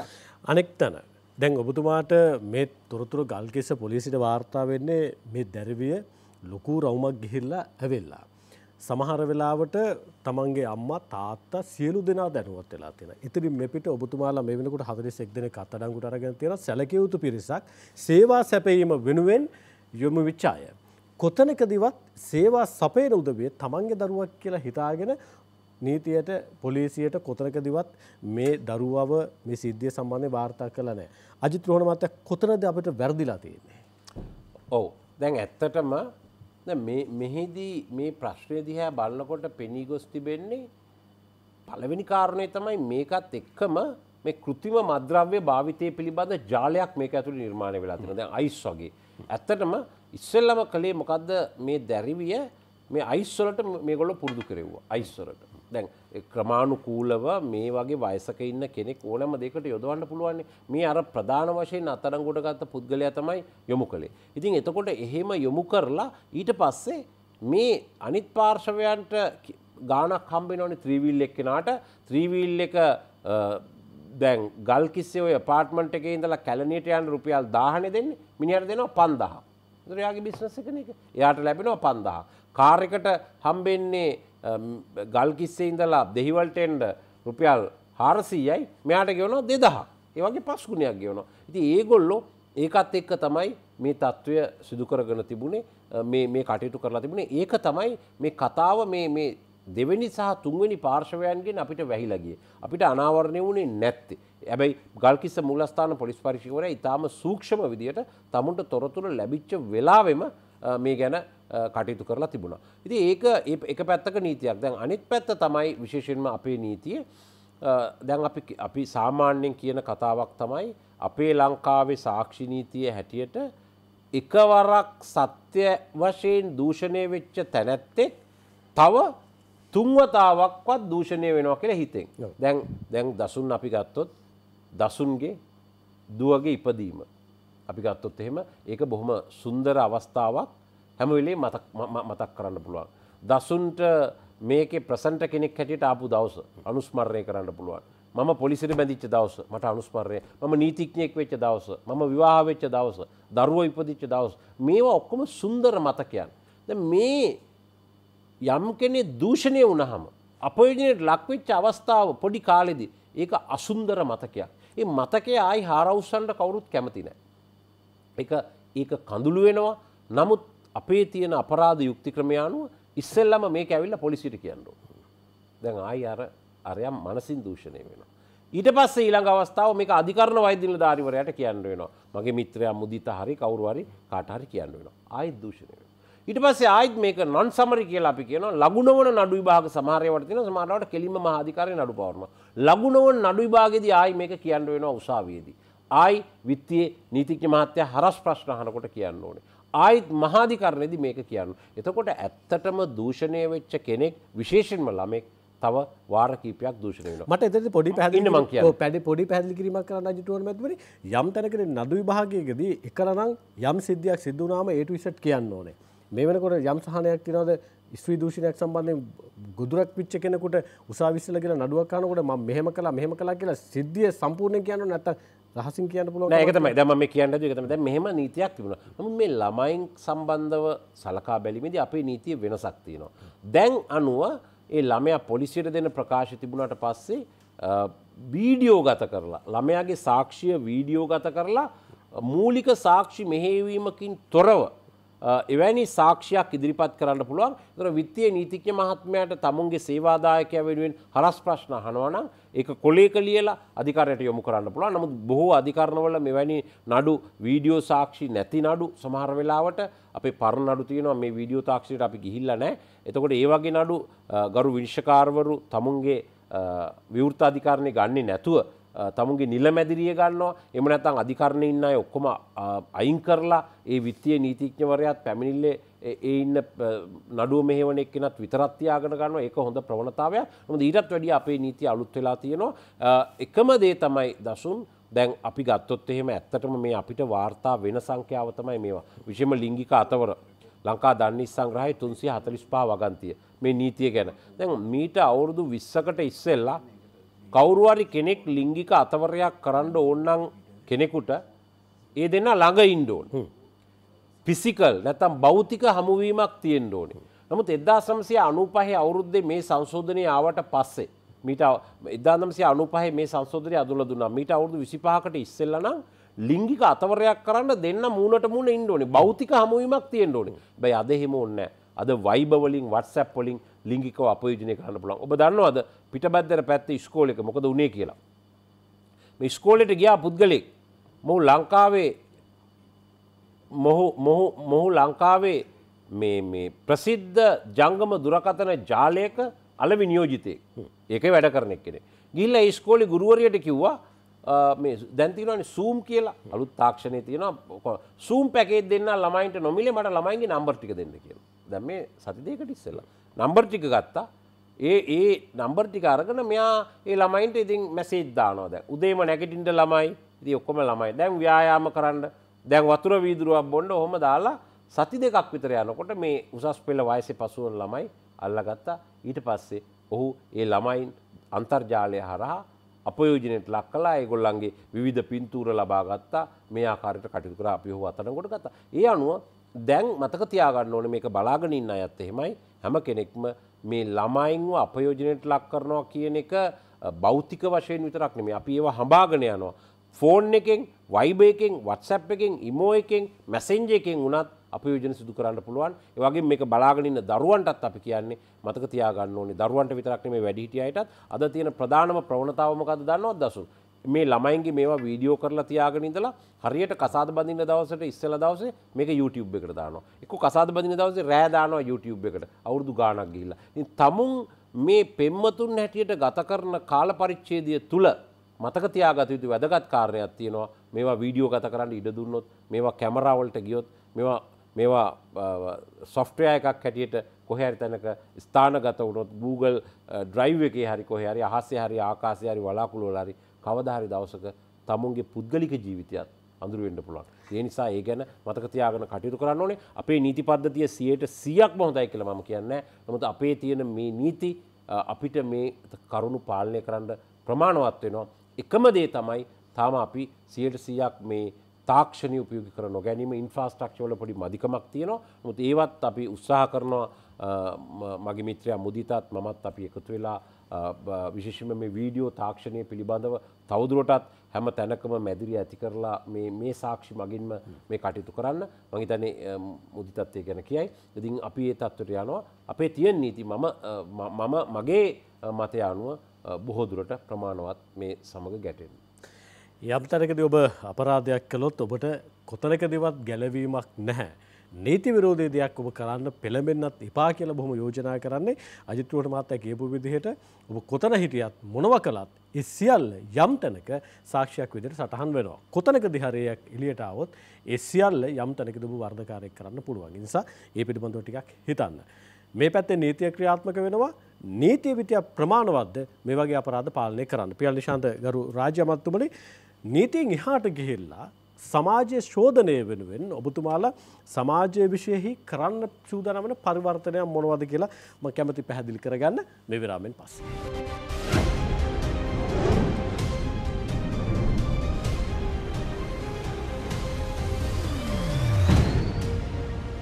අපි අලි තීරණය සමගෙන් කාමාතුරන්ගේ මීළඟ ගොදුර ඔබගේ දරුවා විය නොහැකෙද දරුවන් පිළිබඳව දෙමවපිය වගකීම රැකවරණය සහ නීතිය පිළිබඳව අපි අද සාකච්ඡා කරමින් ඉන්නේ.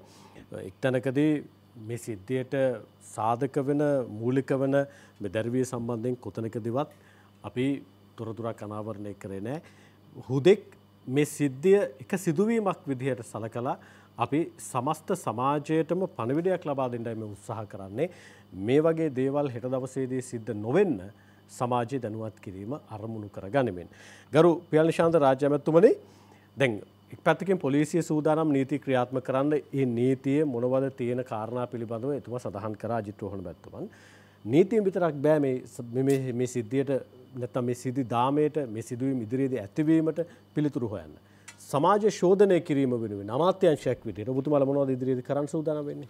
දසුන් මං හිතනවා මේ ඒ ප්‍රශ්නෙට උත්තර දෙන්න ඉස්සෙල්ලා අපේ ජේෂ්ඨ නියෝජ්‍ය පොලිස්පතිතුමා කියපු කතාවකින්ම මම ප්‍රවේශයක් ගන්නම්. මොකද මේ දැන් පොලිසිය තාක්ෂණය අතින් ඉහලයි ඒක නිසා හරි පහසුවෙන් මෙවැනි අපරාධකරුවන් සම්බන්ධව ක්‍රියාත්ම කරන්න පුළුවන් කියලා එතුමා කිව්වා. හැබැයි මම දකින්න ඇත්ත.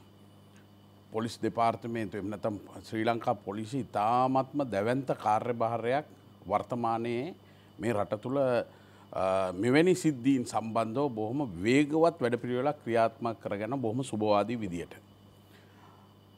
මට දැනගන්නට තිබෙන කාරණය තමයි විශේෂයෙන්ම මේ තාක්ෂණයයි මේ සියලු දේවල් දියුණු වුණාට වැඩක් නෑ ලංකාවේ පොලිස්ථාන පන්සීයයි තියෙන්නේ හැබැයි පොලිස් නිලධහරී කාන්තාවන් ඉන්නේ අටදස් පන්සියක වගේ සීමාවක්.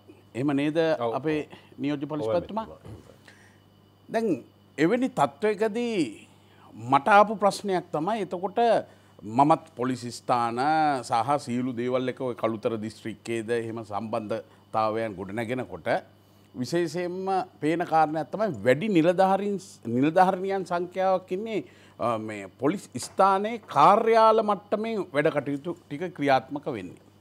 එතකොට මේ සමාජයේ මෙවැනි සිද්ධීන් සම්බන්ධ ක්‍රියාත්මක වීමේදී නිලධහරින් සංඛ්‍යාව බොහොමයක් අඩුයි මංහිතන මේ අටදස් පන්සීය කියන සංඛ්‍යාවෙන් මේ රටේ තියෙන මේ සියලු දේවල් එක්ක බලන්නකොට පොලිසිය ක්‍රියාත්මක බොහොම ෂණිකව ක්‍රියාත්මක වීමේදී නිලධහරි සංඛ්‍යාවේ අඩුවී අඩු තත්ත්වයක් තියෙන එක නිසා ඉතාමත්ම ඉක්මනින් මේ තත්ත්වය වෙනස් කළ යුතුයි. වර්තමානය අපි මේ අභියෝගවලට මුණ දෙන්න. ඊළඟට මගේ අමාත්‍යන්සේ අපේ ළමාරක්ෂක අධිකාරයේ මගේ ගරු සභහපැත්තුමා පැහැදිල දන්න එතුමාගේ ආයතනය තුළ කොයි තරන් නිලධහරීම් පිරිසක් මදිද සේවක සංඛ්‍යාවක් මදිද කියන එක පිළිබඳව මහිතනය එතුමා දන්න ඒවගේම මමත් දැනුවත් වෙලා ඉන්න මගේ අමාත්‍යන්සේ නිසා. මොකද අද වෙනකොට අපිට මෙන්න මේ පිරිස් පිළිබඳවත් ගැටලුවක් තියෙනවා. එතින එක නිසා අපි ඉතාමත්ම ඉක්මනින් මේ සම්බන්ධව විසදුම් ලබාගත යුතුයි. ඊළඟ කාරණය තමයි මං ඔබතුමාගේ ඒ ප්‍රශ්නයට එන්නේ සැල්ලා මං මගේ ජීවිතයේ මහා පුදුම හොඳම ආදරණීය දරුවන්ට බොහොම ලෙංගතුකමින් ආදරය කරන ආදරණීය තාත්තලම්මල දැකලා තියෙනවා. හැබැයි මේ තත්ත්වෙත් එක්ක ඉදිරියේදී මේ අර ආදරණීය අම්ම කෙනෙක් තාත්තා කෙනෙක් මේ සමාජයට මූුණ දෙන්නේ කොහොමද කියන ගැටලුව පැහැදිලිවම මේ සමාජය ඉදිරියේ තියෙනවා. මං එහෙම කියන්නේ තමන්ගේ දුවව තාත්තා දූෂණය කරනවන. මේ බොහොම අල්පයක් මේ සියලු තාත්තලා අතරින් මේ මෙවැනි සිද්ධි සිද්ධ වෙන්න බොහොම කලාතුරකින් එක්කෙනෙක් දෙන්නෙක්ගෙන් සිදුවෙන සිද්ධිය සමන් ලක්ෂයකට එක්කෙනෙක් වෙන්න පුළුව වෙන්න පුළුවන්. අම්ම කෙනෙක් තමන්ගේ දුව අලවි කරනවන. ඒ ඒත් අර ලක්ෂකට එක අම්ම කෙනෙක් විය හැකි. දැන් දෙයනේ කොහොමද මේ දරුවන්ට ආදරය කරන රත්තරන් අම්ම තාත්ත කෙනෙක් මේ සමාජයේ මුණ දෙන්න. එවැනි තත්ත්වයකට අද පත්වමි යන එක නිසා ඉතාමත්ම ඉක්මනි මේ තත්ත්වය වෙනස් කරන්නට අපි සීලු දෙනා එකතු වෙන්න ඕනි. ඊළඟ කාරණය තමයි ඔබගේ ප්‍රශ්නයට මං පිළිතුරු ලබා දෙන එක. ද මේ වන විට අපේ රටේ බලන්නකෝ ළමා අධිකරන කිය තියන්න කියලා. ළමා අධිකරන තියෙන්නේ දෙකයි. එතකොට පලාත් තියෙන නමයක්.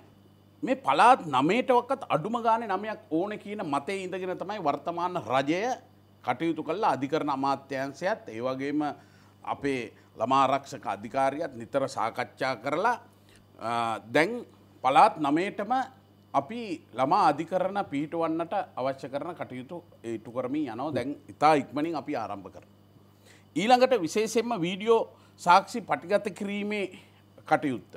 මෙතුමා මට යෝජනා කරා මම එය කැබිනට් පත්‍රිකාවක් හැටියට ඉදිරියට දාලා දැන් අනුමත කරලා දැන් ඒ කටයුත්තත් අපි ඉටු කරගෙන අපේ ජේෂ්ඨ නියෝජ්‍ය පොලිස් පත්තුමා කිව්වෝ වගේ අපි මේ සියලු දෙනම් බොහොම එකට ලොකු සම්බන්ධතාවකින් කටයුතු කරන්න.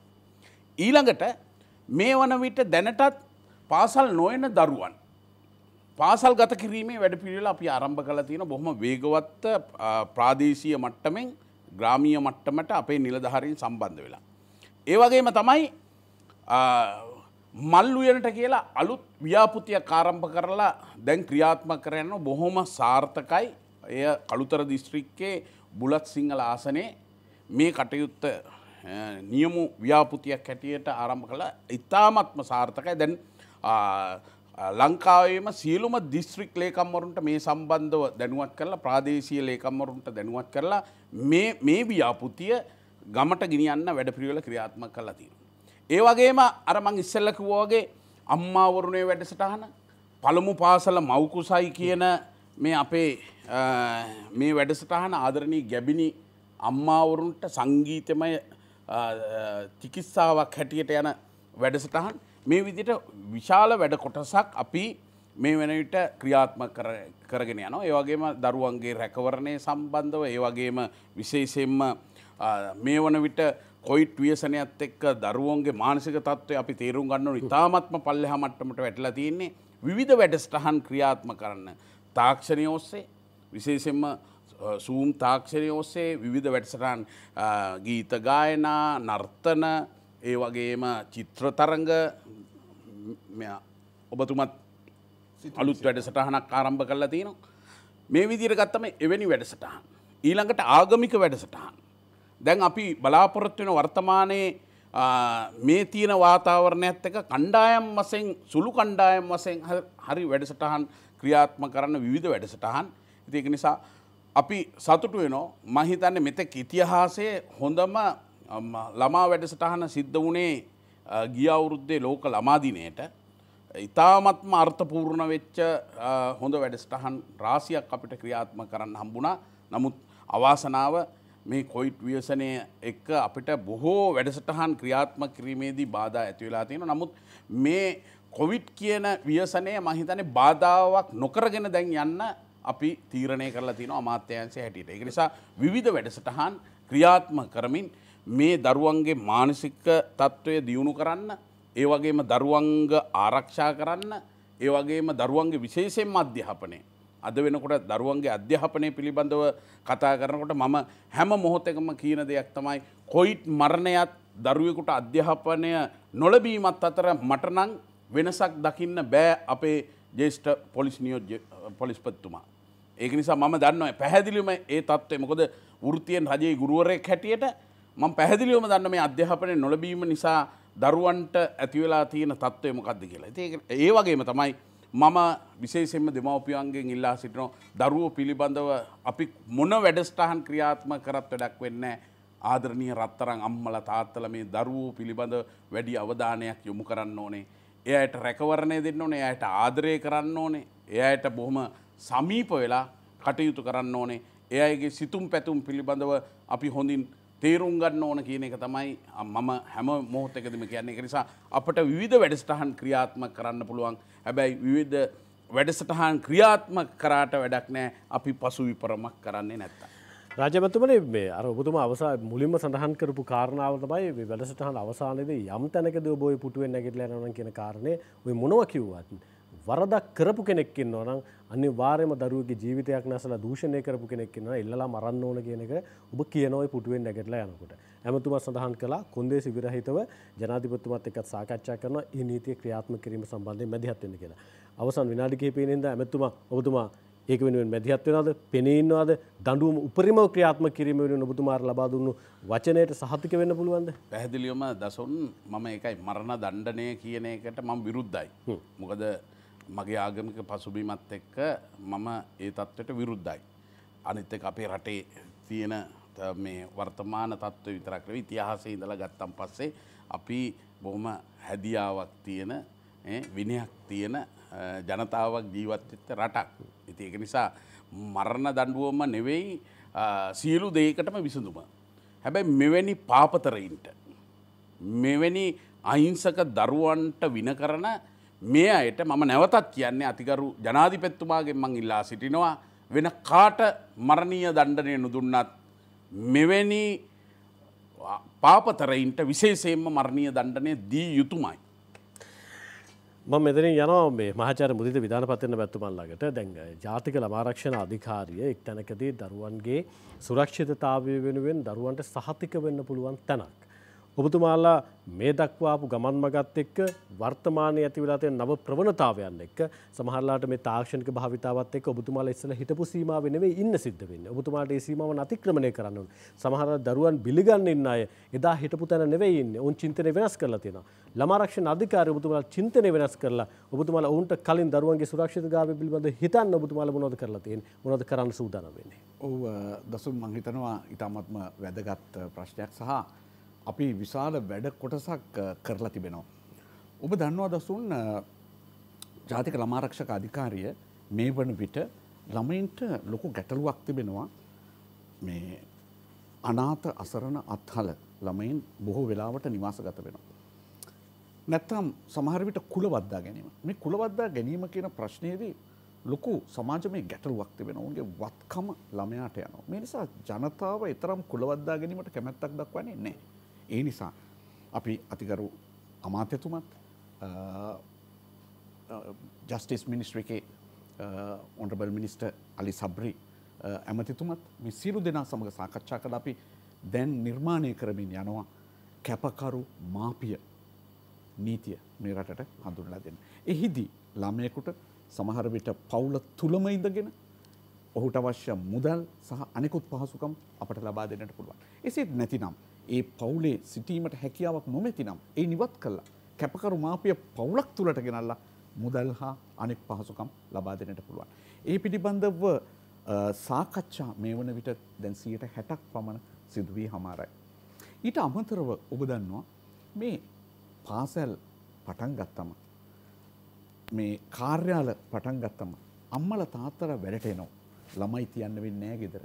එහෙනම් දිවාසුරකුම් මධ්‍යස්ථාන එන්නට ඕනේ. ඉතින් ඒ සඳහා විශාල ගැටලුවක් තිබෙනවා. ඒ තමයි දිවා සුරකුම් මධ්‍යස්ථාන පිළිබඳ ජාතික ප්‍රතිපත්තියක් නෑ. ඒ පිළිබඳව අමාත්‍යතුමත් ලේකම්තුමියත් අපගෙන් ඉල්ලා සිටිය. මේක කරගන්න මෙච්චරකල් බැරි වුණා දැන් වසර ගානක් ජාතික ළමාරක්ෂක අධිකාරයට පුළුවන්ද කියලා. මා ඉතාමත්ම ආඩම්බරෙන් කියනවා. දැන්හි සියට අනුවක් කටයුතු අවසානයි. ඒක ඩොක්ට තලගල කියන විශේෂක්ජ වරිය සමග විශාල විද්දුතුන් කණ්ඩායමක් සමග එකතු වෙලා තව මාස කීපයකින් අපි ජනතාව වෙනුවෙන් ඉදිරිපත් කරනවා. ඒ වගේම දසුන් මේ අපේ නියෝජ්‍ය ජේෂ්ඨ නියෝජ්‍ය පොලිස්පත්තුමා අපේ අමාත්‍යතුමා මේ සියලුමය කතා කරා මේ වීඩියෝ එවිඩන්ස් රෙකෝඩින් යුනිටස් පලාත් නමේම ඇති කරනවා. ඊට අමතුරුව ඔබතුවා කතා කරා මූලික සාක්ෂිය අපිට පුළුවන් වීඩියෝ එවිඩන්ස් වලින් දෙන්න. අපි ඊටත් ඔබ්බට ගිහිල්ලා. අපි අධිකරන අමාත්‍යතුමා සහ අපේ අමාත්‍යතුමා අපි සියල් එකතු වෙලා සාකච්ඡා කළ අපි විශාල පියවරක් දැන් ඉස්සරහට යනවා. ඕ ගරු සභාපතිතුමා දැන් ඔබතුමා සඳහන් කරන කාරණා ඇත්තටම සාධනීයයි. ඒ සිද්ධියක් සිදු වුණාට පස්සේ සිද්ධ කරන කාරණා. සිද්ධියක් සිදු වෙන්න කලින් සමහර වෙලාවට දරුවෙක් අරගෙන ගිහිලා ජීවිතය අහිමි කරාට පස්සේ අයි දරුවට අයි ජීවිතය දෙන්න බෑ. ඊට කලින් සමහර වෙලාට දූෂණය කරට පස්සේ අහිමි වෙන දේවල් ඒ දරුවට අයි දෙන්න බෑ. ඊට කලින් දරුව සුරක්ෂිත කරගන්න ඔබතුමාලගේ මැදිහත්වීම කොහොමද? ඔව් එකක් තමයි දසුන් ඔබ දන්නවා අපගේ ප්‍රථම සභාපතිතුමා මහාචාර්ය හරේන්ද්‍ර සිල්වා. එතුමා එක්දස් නමසේ අමුවටේ මේක ආරම්භ කරලා දෙදස් එකේදී ආරම්භ කරා සයිබ ඉන්වස්ටිගේෂන් යුනිට්. ඒ කියන්නේ එය විමර්ශන ඒකකයක්. නමුත් අපි දෙදස් විස්සි ආවන් පස්සේ අපට තේරුණා මේක අන්තර්ජාල විමර්ශනය පමණක් අපට පැමිණිලි එනකං බලන් හිටියොත් මේක හරියන්නේ නෑ. එනම් අපි පැමිණිලි සොයා යුතුයි. ඒකන ඔබතුමාගේ කාර්ය මණ්ඩලේ ගමට ගිහිල්ලා දරුවන් එක්ක හෝ වේවා දෙමව්පියන් එක්ක හෝ වේවා සමාජ සංවිධාන එක්ක හෝ වේවා සම්බන්ධතාවයක් තියෙනවද? පොඩි වේලාවක් දෙන්න. අපි මේ අපේ ආයතනයේ ඒකකය අපි පරිවර්තනය කරා සයිබ සර්විලන්ස් යුනිට්ටයක් බවට. ඒ සඳහා අපි දහ දෙනුගේ කාඩර එකක් අලුත් පත්වීම් අමාත්‍යතුමා සමඟ සාකච්ඡා කරලා අපට ජුඩිබාසි විසිතුන් වෙනිදා අපට ලැබුණ. ඒ නිසා මා හිතනවා ගිය වර්ෂයේ අපේ ඒ ඒකකයෙන් අපට ලැබුණු පැමිණිල්වලින් සියට පනස් දෙකක් එයයි මෙහි ජයග්‍රහණය. අපට ඔබ ජනතාව විසින් එව් පැමිණිලි නොවෙයි. අපගේ ආයතනය විසින්ම ආවේක්ෂණය කරලා ළමයින් වෙත්ත ගිහිල්ලා හොයාගත්තු පැමිණිලි. ඊටත් ඔබට ගිහිල්ලා අද ගරු රාජමාත පියල් නිශාන්ත මැතිතුමා සමඟ ඔහුගේ නායකත්වයෙන් අපගේ ආයතනයේ ප්‍රෝග්‍රම් යුනිට් එක තිබෙනවා. එහි රෝහණ රණසිංහ අධ්‍යක්ෂක තුමාගේ ප්‍රධානත්වයෙන්. අපි ගමට යන වැඩපිළිවෙලක් මේ දිනවල ආරම්භ කරලා තිබෙනවා. එහිදී මේ ඔබ දන්නවා පොලෝ මට්ටමේ සිටින නිලධාරීන් රැසක් සිටිනවා. ප්‍රාදේශී ලේකම් කාර්යාලවල ළමයින් සඳහාම කැපුණු නිලධාරීන් අවම වශයෙන් හය දෙනෙක් ඉන්නවා සෑම ආයතනයකම. ඊටත් එහාට ගිහිල්ලා පොලිස් නිලධාරියා සමෘද්ධ නිලධාරියා ඊට අමතරව නිලධාරි රැසක් සිටිනවා. මේ නිලධාරි ඔක්කොගෙම කාර්යන් අපි නියාමනය කළ යුතුයි. ඒ පිළිබඳ සොයා බැලිය යුතුයි. අන්නේ නියාමන ක්‍රමය අප ඉදිරිපත් කරන්නට පයිලට් ප්‍රොජෙක්් එකක් විදිට ලබන මාසය තුළ අපි ආරම්භ කිරීමට බලාපොරොත්තු සභහන්න වැදගත් වන්නේ. මේ ළමයින්ගේ ආරක්ෂාව වෙනුවෙන් සිදුවන සියල්ලුම ක්‍රියාකාරිත්වය අපි මාස තුනෙන් තුනට නියාමනය කරලා එහි වාර්තාවනුව අපි එහි තත්ත්වය සෑම විටම ඉහළ නැංවීමට බලාපොරොත්. සභාපත්තුමා සමහර වෙලාවට මේ දරුවන්ට යම් සිද්ධියක් සිද්ධ වනාට පස්සේ ඒ සිද්ධිය වාර්තා කිරීම වෙනුවෙන් හෝ ඔවුන්ට සරණක් ලබා ගැනීම වෙනුවෙන් තියෙන ප්‍රවේශයන් සමහර වෙලාවට ටිකක් සංකීර්ණයි. ඔබතුමාලා දුරකථනංකයක් ලබා දීලා තියෙන සමහරලාට දරුවන්ට ඒක ප්‍රවේශ වෙන්න සමහර බාධාවන් තියෙන්න පුළුවන්. පොලිසිට කියන්න කියලා තියෙන සමහර වෙලාවට අජිත් වහන මහත්මයා අම්මලා තාත්තලා ගමනක් යනකොට පොලිස් රාලාම ඉන්නවා තුවක්කුවක් තියාගෙන ඉන්නවා පුතේ පේනව නේද කියපුවාම දරුවා එතනින්ම ඇතිවන බයත් එක්ක සමහරලාට යම් සිද්ධයකට මුහුණ දුනොත් පොලිසියට ගිහලා කියන්න නැති වෙන්න පුළුවන්.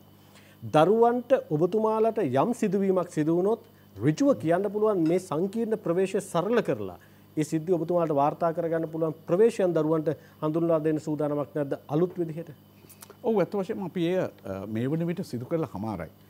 ගරු අමාත්‍යතුමාගේ ප්‍රධානත්වයෙන් ගිය වර්ෂයේ ඔක්තෝබර් පලවෙන්ද ළමා දිනය වෙනුවෙන් අපි දහනමය විසිනමේ දුරකතන ඇමතුමට වඩා ඉදිරිට ගිහිල්ලා අන්තර්ජාලය හරහා භාගත කර ඇත හැකි දහනමය විසිනමේ ඇප් එක යෙදවූම අපි ආරම්භ කරා. ඒ හරහා අද ඔබට පුළුවන් ඇප්ස්ට පලේස්ටෝ හරහා ගිහිල්ලා නොමිලේ භාගත කරගෙන අපට වොයිස් මැසේජ් එකක් ටෙක්ස් මැසේජ් එකක් ඊට අමතරව ඡායාරූපයක් වුණත් අද අපට එවන්නට පුළුවන්. සමහරල සභාපතුමා ඒ ප්‍රවේශයන් දරුවකට සංකීර්ණ වෙන්න පුළුවන්.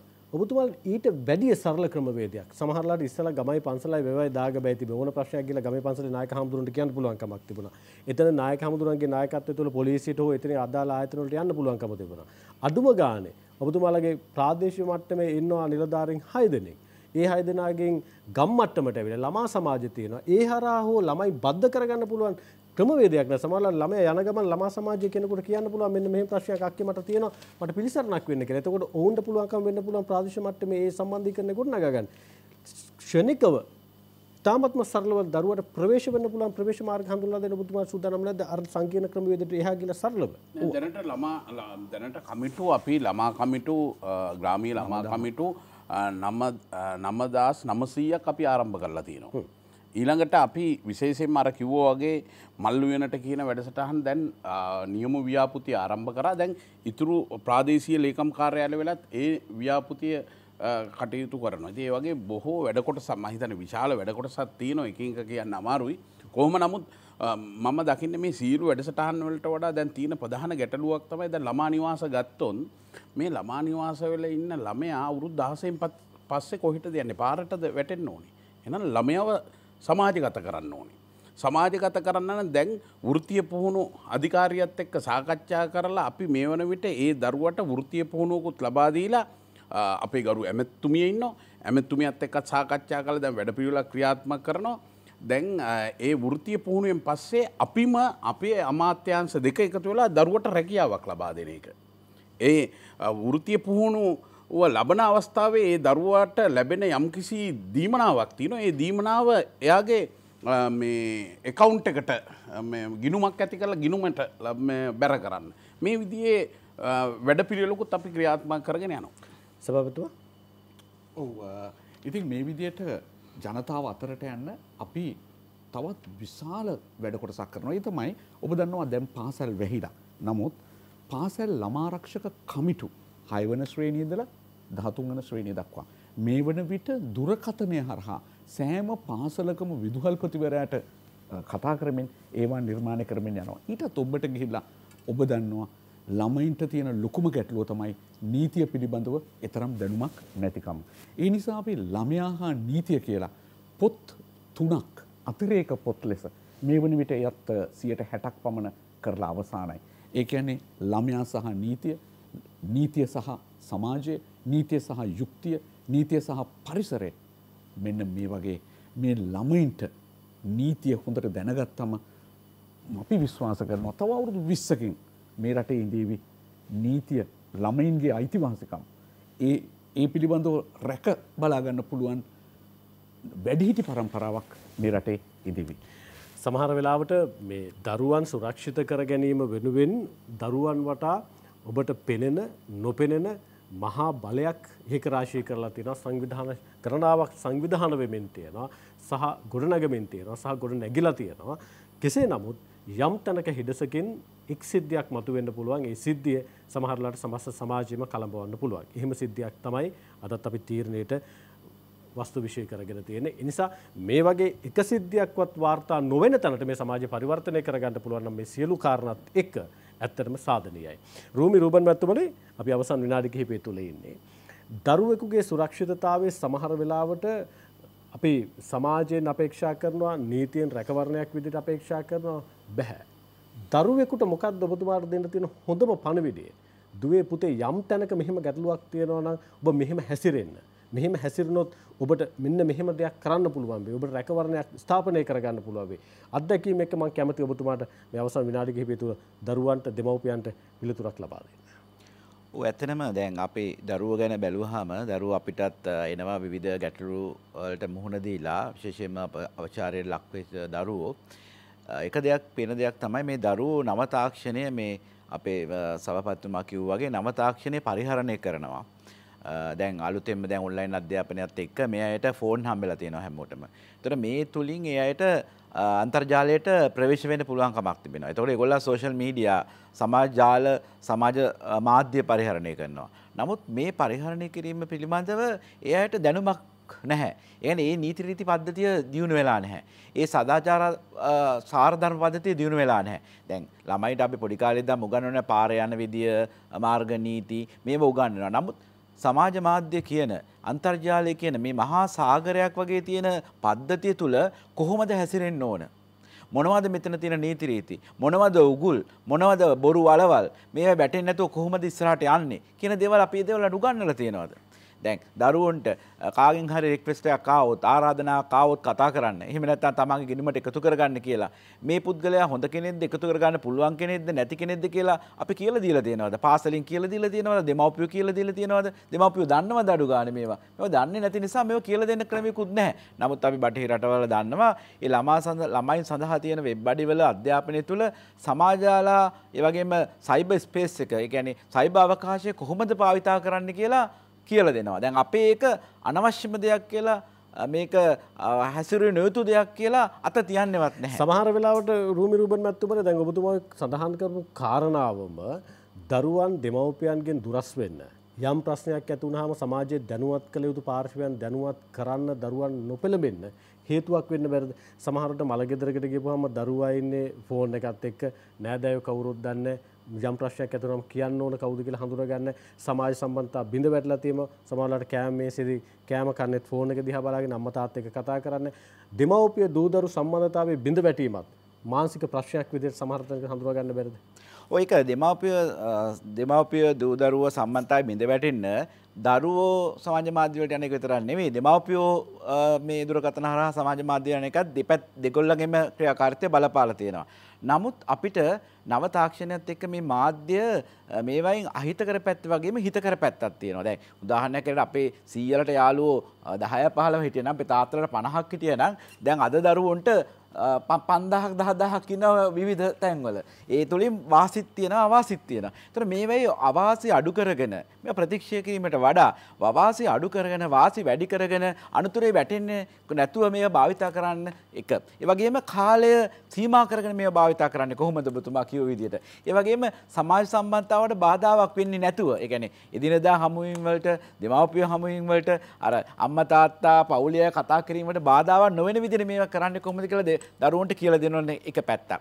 අනිත් පැත්තෙන් මොකක්හරි අනතුරක් වුණහම ඒවට ගන්න ඕන පීවර මොකක්ද.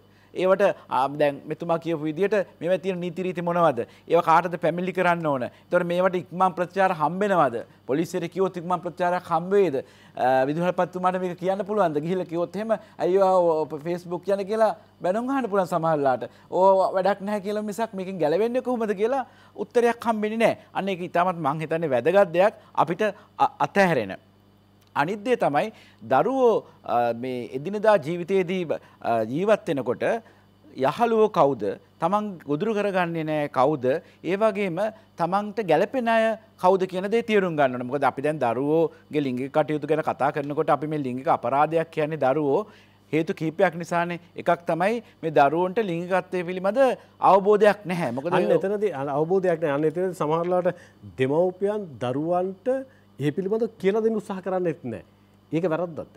ඔව් ඇත්තට මේක තමයි ලිංගිකත්වය පිළිබඳ අවබෝධයක් නැහැ. එතකොට ඒ දරුවාගේ වයස් ප්‍රමාණයට ගැළපෙන විදිහට ලිංගිකත්වය පිළිබඳ අවබෝධයකුත් ලබා දිය යුතුයි. නමුත් ඒ අවබෝධය තියෙන ප්‍රමාණයට වඩා ලිංගික දේවල් වලට යොදා ගන්නකොට තමයි මේක ලිංග අපරාධයක් වෙන්නේ. අනිත් දේ තමයි දරුවන්ට තමන් කැමති අකමැති දේවල් පිළිබඳ මේ තමන්ගේ ප්‍රකාශ කරන්නත් කැමැත්ත ප්‍රකාශ කරන්නීමේ හැකියාවකුත් නැහැ. අනිද්දේ තමයි දරුවන්ගේ දියුණු වෙන මනසට මේ ලිංගිකත්වය තුළ තියෙන දේවල් දරා ගැනීම හැකියාවකුත් නෑ මේ සියලුම දේමන් නිසා දරුවන්ට ලිංගිකත්වය පිළිබඳ ලොකු ගැටලුවක් ඇති වෙනවා. මේ ගැටලුව නිසාම තමයි ලිංගිකත්වය දරුවෙක් සමග ලිංගිකත්වය සම්පූර්ණ අපරාධයක් ලෙස ඒ වගේම වෛද්‍ය විද්‍යානුකූලව දරුවන්ට කරන හානියක් ලෙස හඳුනාගෙන තියෙන්නේ. ඉතින් ඒ වගේ අවස්ථාවලද අපි දැන් දකිනවා අපිට වැඩිහිටියෝ වෙනවා මේ අය ළමා කාලේදී විවිධ කටයුතු ලිංගික ලිංගික අපචාරවලට භාජනය වෙලා. මේක නිසා දීර්ඝ කාලිනව පැතිරෙන ඇතිවෙන පශ්චාත් ක්‍රමත වියසන තත්ව එකන් PTSD පෝස්ට්‍රමටික් ස්ට්‍රෙස් ඩිස්සෝඩ වගේ වෙන්න පුළුව ඒවගේම විශාදය වගේ රෝග වෙන්න පුළුව ඒවගේ අනි පැත්තට බෝඩලන් පර්සනල් ඩිස්සෝඩ එකන් ඒයට තමන් හැඟින් පාලනි කරගන්න බෑ. නැවත ලිංගික අපචාරවලට භාජනන වැඩි හිටියෝ බවට පත් වනාට පස්සෙත්. මෙන මේ වගේ විවිධ ලිංගික හා වෙනත් මානසික රෝගවලට භාජන වෙන ඉන්නවා. ති අපි දකින දෙයක්ත්තම එක ගැටලුවක්. ද පවුලේ කෙනෙක්ගෙන් අතවරයක් වුණාට පස්සේ අපි හිතමු නෑදෑ කෙනෙක් කියලා. සමහලට බාප්පගෙන් අතවරයක් වුණාට පස්සේ තාත්ත පියවර ගන්න නැතුව නමුද නෑදෑකම නැති කරගන්නක් කමැති නිසා.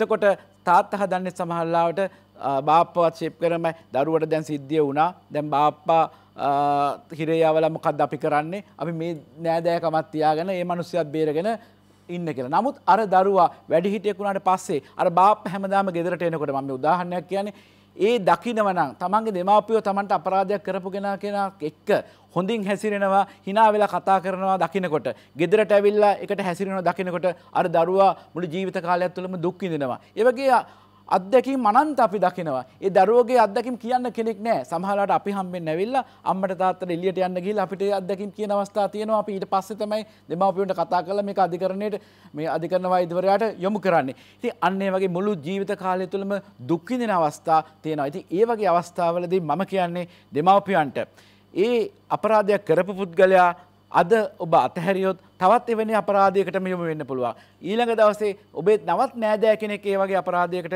යොමු කරගන්නට පුළුවන්. අද දවසේ අපි අපරාධය අතහැරල දැම්මොත් එහෙම ඒ වෙච්ච දේ වුණා කියලා ඒ වගේ සමාජයට කරන ඉතාම විශාල අපරාධයක් වෙනවා තමන් කරන්න. එක නිසා අපරාධයක සේයාවත් දකිනකොට ඒක මුල අවස්ථාවේදී හඳුනා ගන්නට ඕන. ඒක මුල් අවස්ථාවෙන් හඳුනාගෙන වලක්වා ගන්නට ඕන. ඒ ඒ සඳහා එක පැත්තකින් අපරාධකරු අපරාධයට සූදානම් වෙන පුද්ගලයා හඳුනාගෙන ඒ අය තමන්ගේ දරුවන්ගේ ඉවත් කරන්න ඕන. අනිත් පැත්තෙන් අපේ දරුවෝ ශක්තිමත් කරන්න ඕන අපරාධයෙන් වැළකෙන්න. දැන් උදාහරණයක් හැටියට දරුවන්ට කියන්න පුළුවන් කවුරු හරි පාරේ යනකොට මගදී කරදර කරන්න ආවොත් අතින් අල්ලන්න ආවොත් කෑ ගහන්න.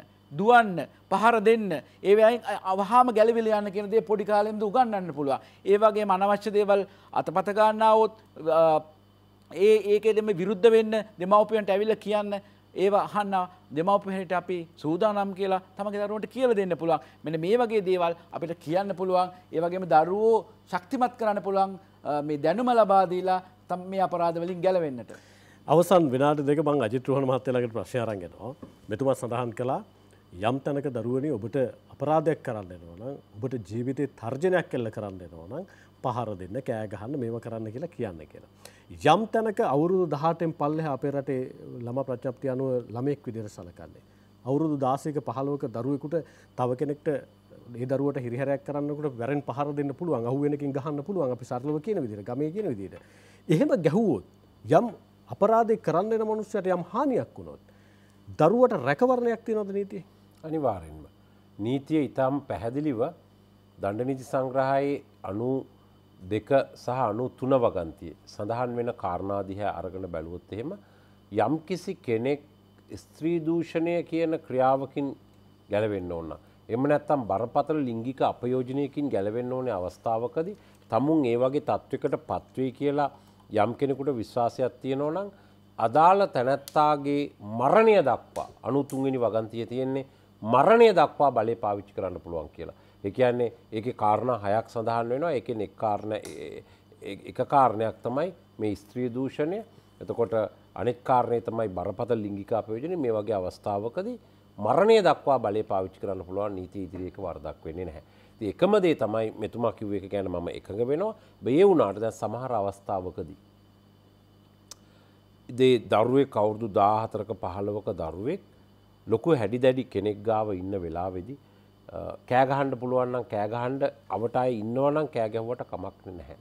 හැබැයි සමහර වෙලාවට හුදෙ කලා ඉන්න වෙලාවකදී බලය පාවිච්චි කරන්න ගියොත් එක අසාර්ථක වුණොත් ස්මාරලාවට එක අනි පැත්තට දරුවට අවාසිකට බලපාන්න පුළුව ඒ වගේ වෙලාවකදී එහෙම අවස්ථාවක් තියෙනවනම් ඒ හොඳම දේ තමයි ස්මාර වෙලාවට හැකිතාක් දුරට එකින් බේරෙන්ට උත්සා කරන එක නමුත් බලයක් පාවිච්චි කරන්න යාම ස්මාරලාට ඊට වැඩිය ලොකු ප්‍රශ්නයක් බවට පත්වන්න පුළුවන්.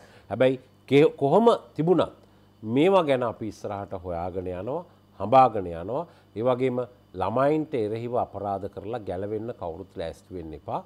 අපි ඒ ගණ්ඩ පුළුවන් උපරිම ක්‍රියාමාර් ගන්නවා. කරන මිනිස්සුන්ට විතරක් නෙමෙයි ඒවට ආධාර අනුබල දෙන උපකාර කරන මිනිස්සුන්ටත් අන්තර්ජාලය හරහා මෙවැනි කටයුතු කරන අයටත් කියන්න බෑ නිකං අපි දන්නතුව ෆෝවඩ් කරේ අපි දන්නතුව ෂයා කරේ. එහෙම කියන්න බෑ. ඒ සියල්ලන්ට එරෙහිව අපි දැවන්ත වැඩ පිළිවෙලක් සියලුම පාර්ශ්වකරුවන් එක්ක ක්‍රියාත්ම කරන්න බලාපොරොත්තුවන. අවසන් විනාඩීමට අවසර දෙන්න සමාජ වගකීම ගරු ඇමතුවා විනාඩින් අපි සඳහන් කරමු සමස්ත සමාජය වගකීම ගැන. සමස්ත සමාජයේම වගකීම තමයි අපේ ජේෂ්ට නියෝජ්‍ය පොලිස්පත්තුමා කිව්වාගේ මේ අපි තේරුම් ගත යුතු මේ දරුවෝ අපේ. එක නිසා මේ දරුවන්ට තාත්ත කෙනෙක් වෙන්න මේ දරුවන්ට අම්ම කෙනෙක් වෙන්න පුරුදු වෙන්න. ඒක තමයි මට දෙන්න තියෙන පණිවිඩේ.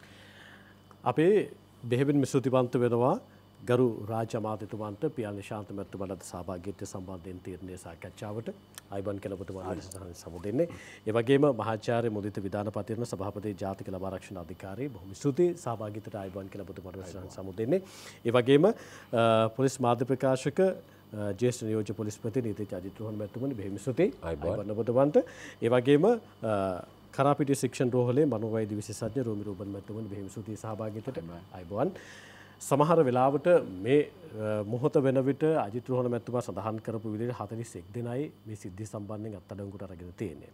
සමහර වෙලාවට හතලිස් එක හාරසිය දහය වෙන්නත් පුළුවන්. හාරසිය දහයක් වුණොත් ඒ තක්වා මේ තත්වේ වර්ධනය වෙනකං ඔබ මොකද කළේ කියලා යම් තැනකද ඔබට කම්පාවක් ඇතිවෙන්න පුළුවන්. අනුන්ගේ දරුවෙක් කියලා ඔබ හිතාගෙනන්න තාක්කල් ඔබට ඒ කම්පනය නොදැනෙන්න පුළුවන්. ඔබේ අසල්වැසියෙක් අවසන ඔබේ දරුවෙක් ඒ තත්වට ගොදුරුණොත් ඔබට සමහර වෙලාවට මේ තත්ත්වය දරාගන්න බැරිවෙන්න පුළුවන්. එනිසා මේ සමස්ත සමාජයම දරුවන් ඔබෙයි මගේ. එනිසා අපි කොන්දේසි විරහිතව අපේ අනාගතය රටභාරගන්නන දරුවන් වෙනුවෙන් අපි පෙරටෙමු යම් තැනක සිදුවීමක් සිද්ධ වෙනවනම් ඔබටත් සමාජය පුරවැසියන් විදිහර තියෙනවා යුතුකමක් ඒ අගතිට පත්වෙන කෙන ගොදුරක් කරගන්න නෙවෙයි ඕ ගොදුරක් වෙලා ඉන්න තැනින් මුදවන්න ඔබට තියෙන වගකීමිටු කරන්න. ඒ වෙනුවෙන් අද අද පෙළගැහෙන්න කියලා බොහොම ආදරෙන් ඔබට යෝජනා කරමි අපි සමුගන්නවා යලිමුණ ගැහිම ලබන ඉරිදා. අයිබෝන්.